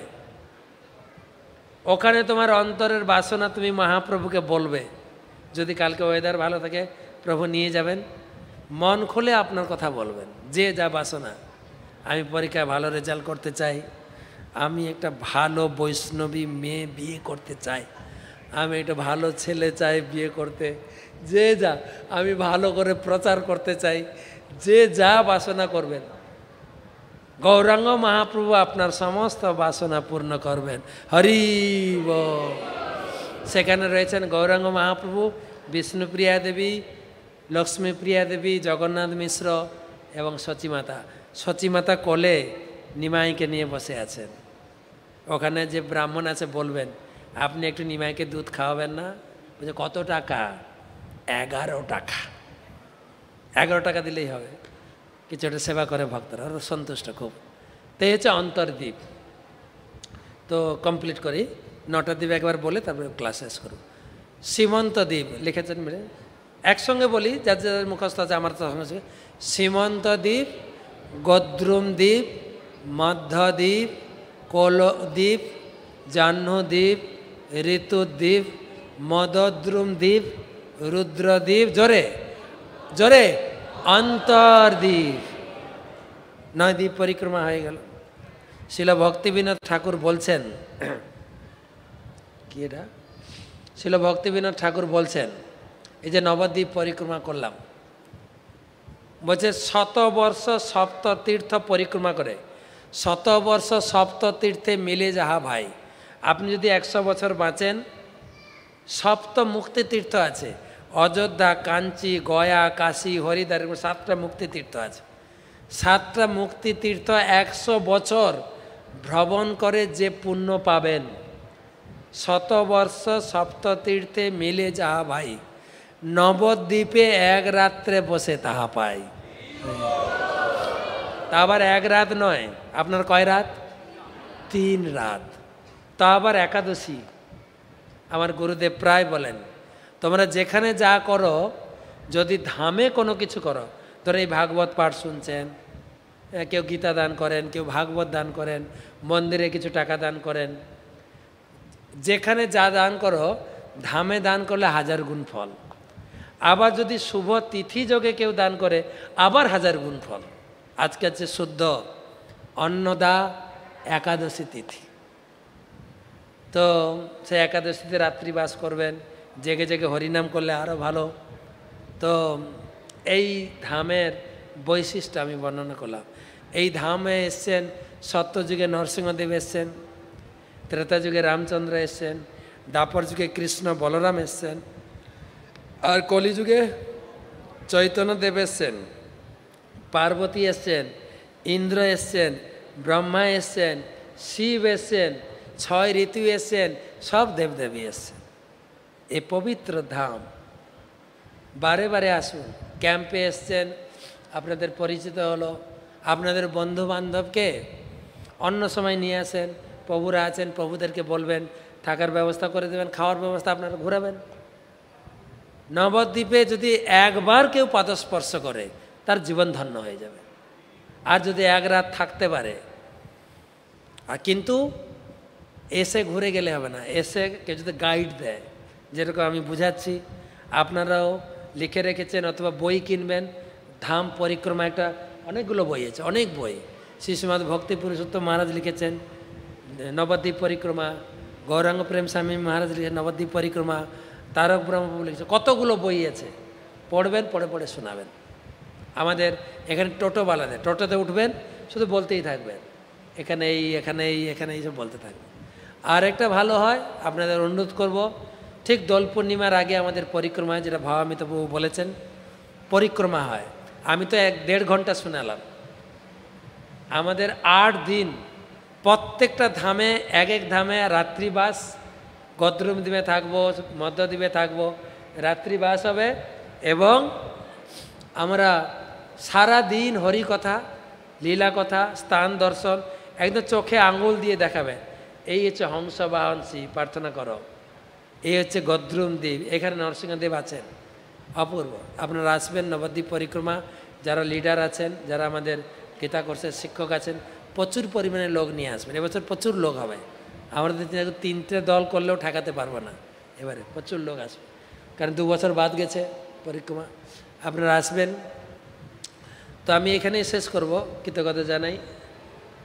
একজন সুবর্ণা হারিণী দেবী দাসী। মহারাজ, আপনি একটু ভাগবত মাহাত্ম বলেন। ভাগবত মাহাত্ম কিছু বলার নেই, কালকে আমি বলেছি যে ভগবান কলিযুগে তিন রূপে এসছেন, ভাগবত রূপে, নাম রূপে আর জগন্নাথ রূপে। পৌপাত চেয়েছেন প্রত্যেকের বাড়িতে ভাগবত থাকবে আপনারা ভাগবত নিয়ে যাবেন। কারা কারা ভাগবত নেবেন নাম লিখিয়েছেন? কজন? কালকে তো অনেকগুলো হাত উঠেছিল। অনেকগুলো হাত নাম লিখিয়েছেন? কতজন নাম লিখিয়েছেন? তো এখন কি দেওয়া হবে নাকি না? না আমি নাহলে কিছুক্ষণ আমি বসতে পারি। আমার হয়তো দশ মিনিট সময় আছে। তোমাদের হোক সুবর্ণ হরিণী মাতাদি নাম লেখা আছে না? নামগুলো পড়ে দিই তাহলে কে কে নাম হাত তুলবেন। নামগুলো পড়ে দিই। তারপরে আমি কেউ কেউ আছে মনে হয় কেউ কেউ নেই। নাম ফোনের মধ্যেও নেওয়া হয়েছে। ওগুলো বই। কোথায় আছে? তাহলে উঠে আসেন যারা যারা নেবেন স্টেজে উঠে যাবেন পাঁচ মিনিট সময় নেব। পাঁচ মিনিটের ভিতরে আমরা স্টেজ ছেড়ে দেবো পরবর্তী। এই জায়গাটা একটু সরে গেলে হবে। যারা যারা ভাগবত নেবেন উঠে আসেন। আমরা অনুরোধ করছি এই ভাগবতম এটা হচ্ছে প্রথম স্কন্দ এই রকম আঠারোটা বই আছে। কতগুলো বই? আঠারোটা বই। আমি যা জাগতিক দৃষ্টি দিয়ে বলতে পারি, এই বই এত সুন্দর করে মানে বানানো হয়েছে। বাজারের স্কুল কলেজের বই না কিন্তু, স্কুল কলেজের বই নিউজ পেপারে বানানো হয়। কেননা এক বছর পড়ার পরে ফেলে দেওয়া হয়। এটা কয়েক জেনারেশন থাকবে, যেহেতু ধর্মগ্রন্থ। এত সুন্দর বাঁধায় কাগজ দিয়ে করা হয়েছে। বইটার ওজন দুই কিলো। এরকম ভারী বই পাবেন না। একটা বাজার মূল্যে এই বইয়ের দাম কমপক্ষে আটশো থেকে হাজার টাকা দাম। আঠারোটা বইয়ের দাম কত? আঠারো হাজার। আমরা যেহেতু অনেক বই ছাপাই, এবং জাস্ট কস্টিক মূল্য এবং ট্রান্সপোর্ট মূল্য, এই বই আমরা নিচ্ছি সাড়ে ছয় হাজার প্লাস পাঁচশো টাকার গিফট ব্যাগ তার কত দাম হলো? ছয় হাজার। যদি আপনি এককালীন টাকা না দিতে পারেন কিস্তিতে দিতে পারেন আপনি নাম লিখাবেন আজকে একাদশীর দিন আমি ভাবছিলাম আপনাদের হাতে তুলে দেব। যদি ভাগবতম থাকে তুলে দেবো প্রথম স্কন্ধ আছে? বই তো নেই এখানে। ওকে নামটা পড়ে দেওয়া হোক। আমরা কই লোক কথা হরে কৃষ্ণ। বই আছে না বই আছে না? নিয়ে আসো। আচ্ছা যারা যারা বই আছে কাছে আছে? কাছে আছে না নেই? প্রথম স্কন্ধটা দিলে হবে প্রথম হরে কৃষ্ণ আচ্ছা আমার কাছে একটা সেট খুলেছে তো?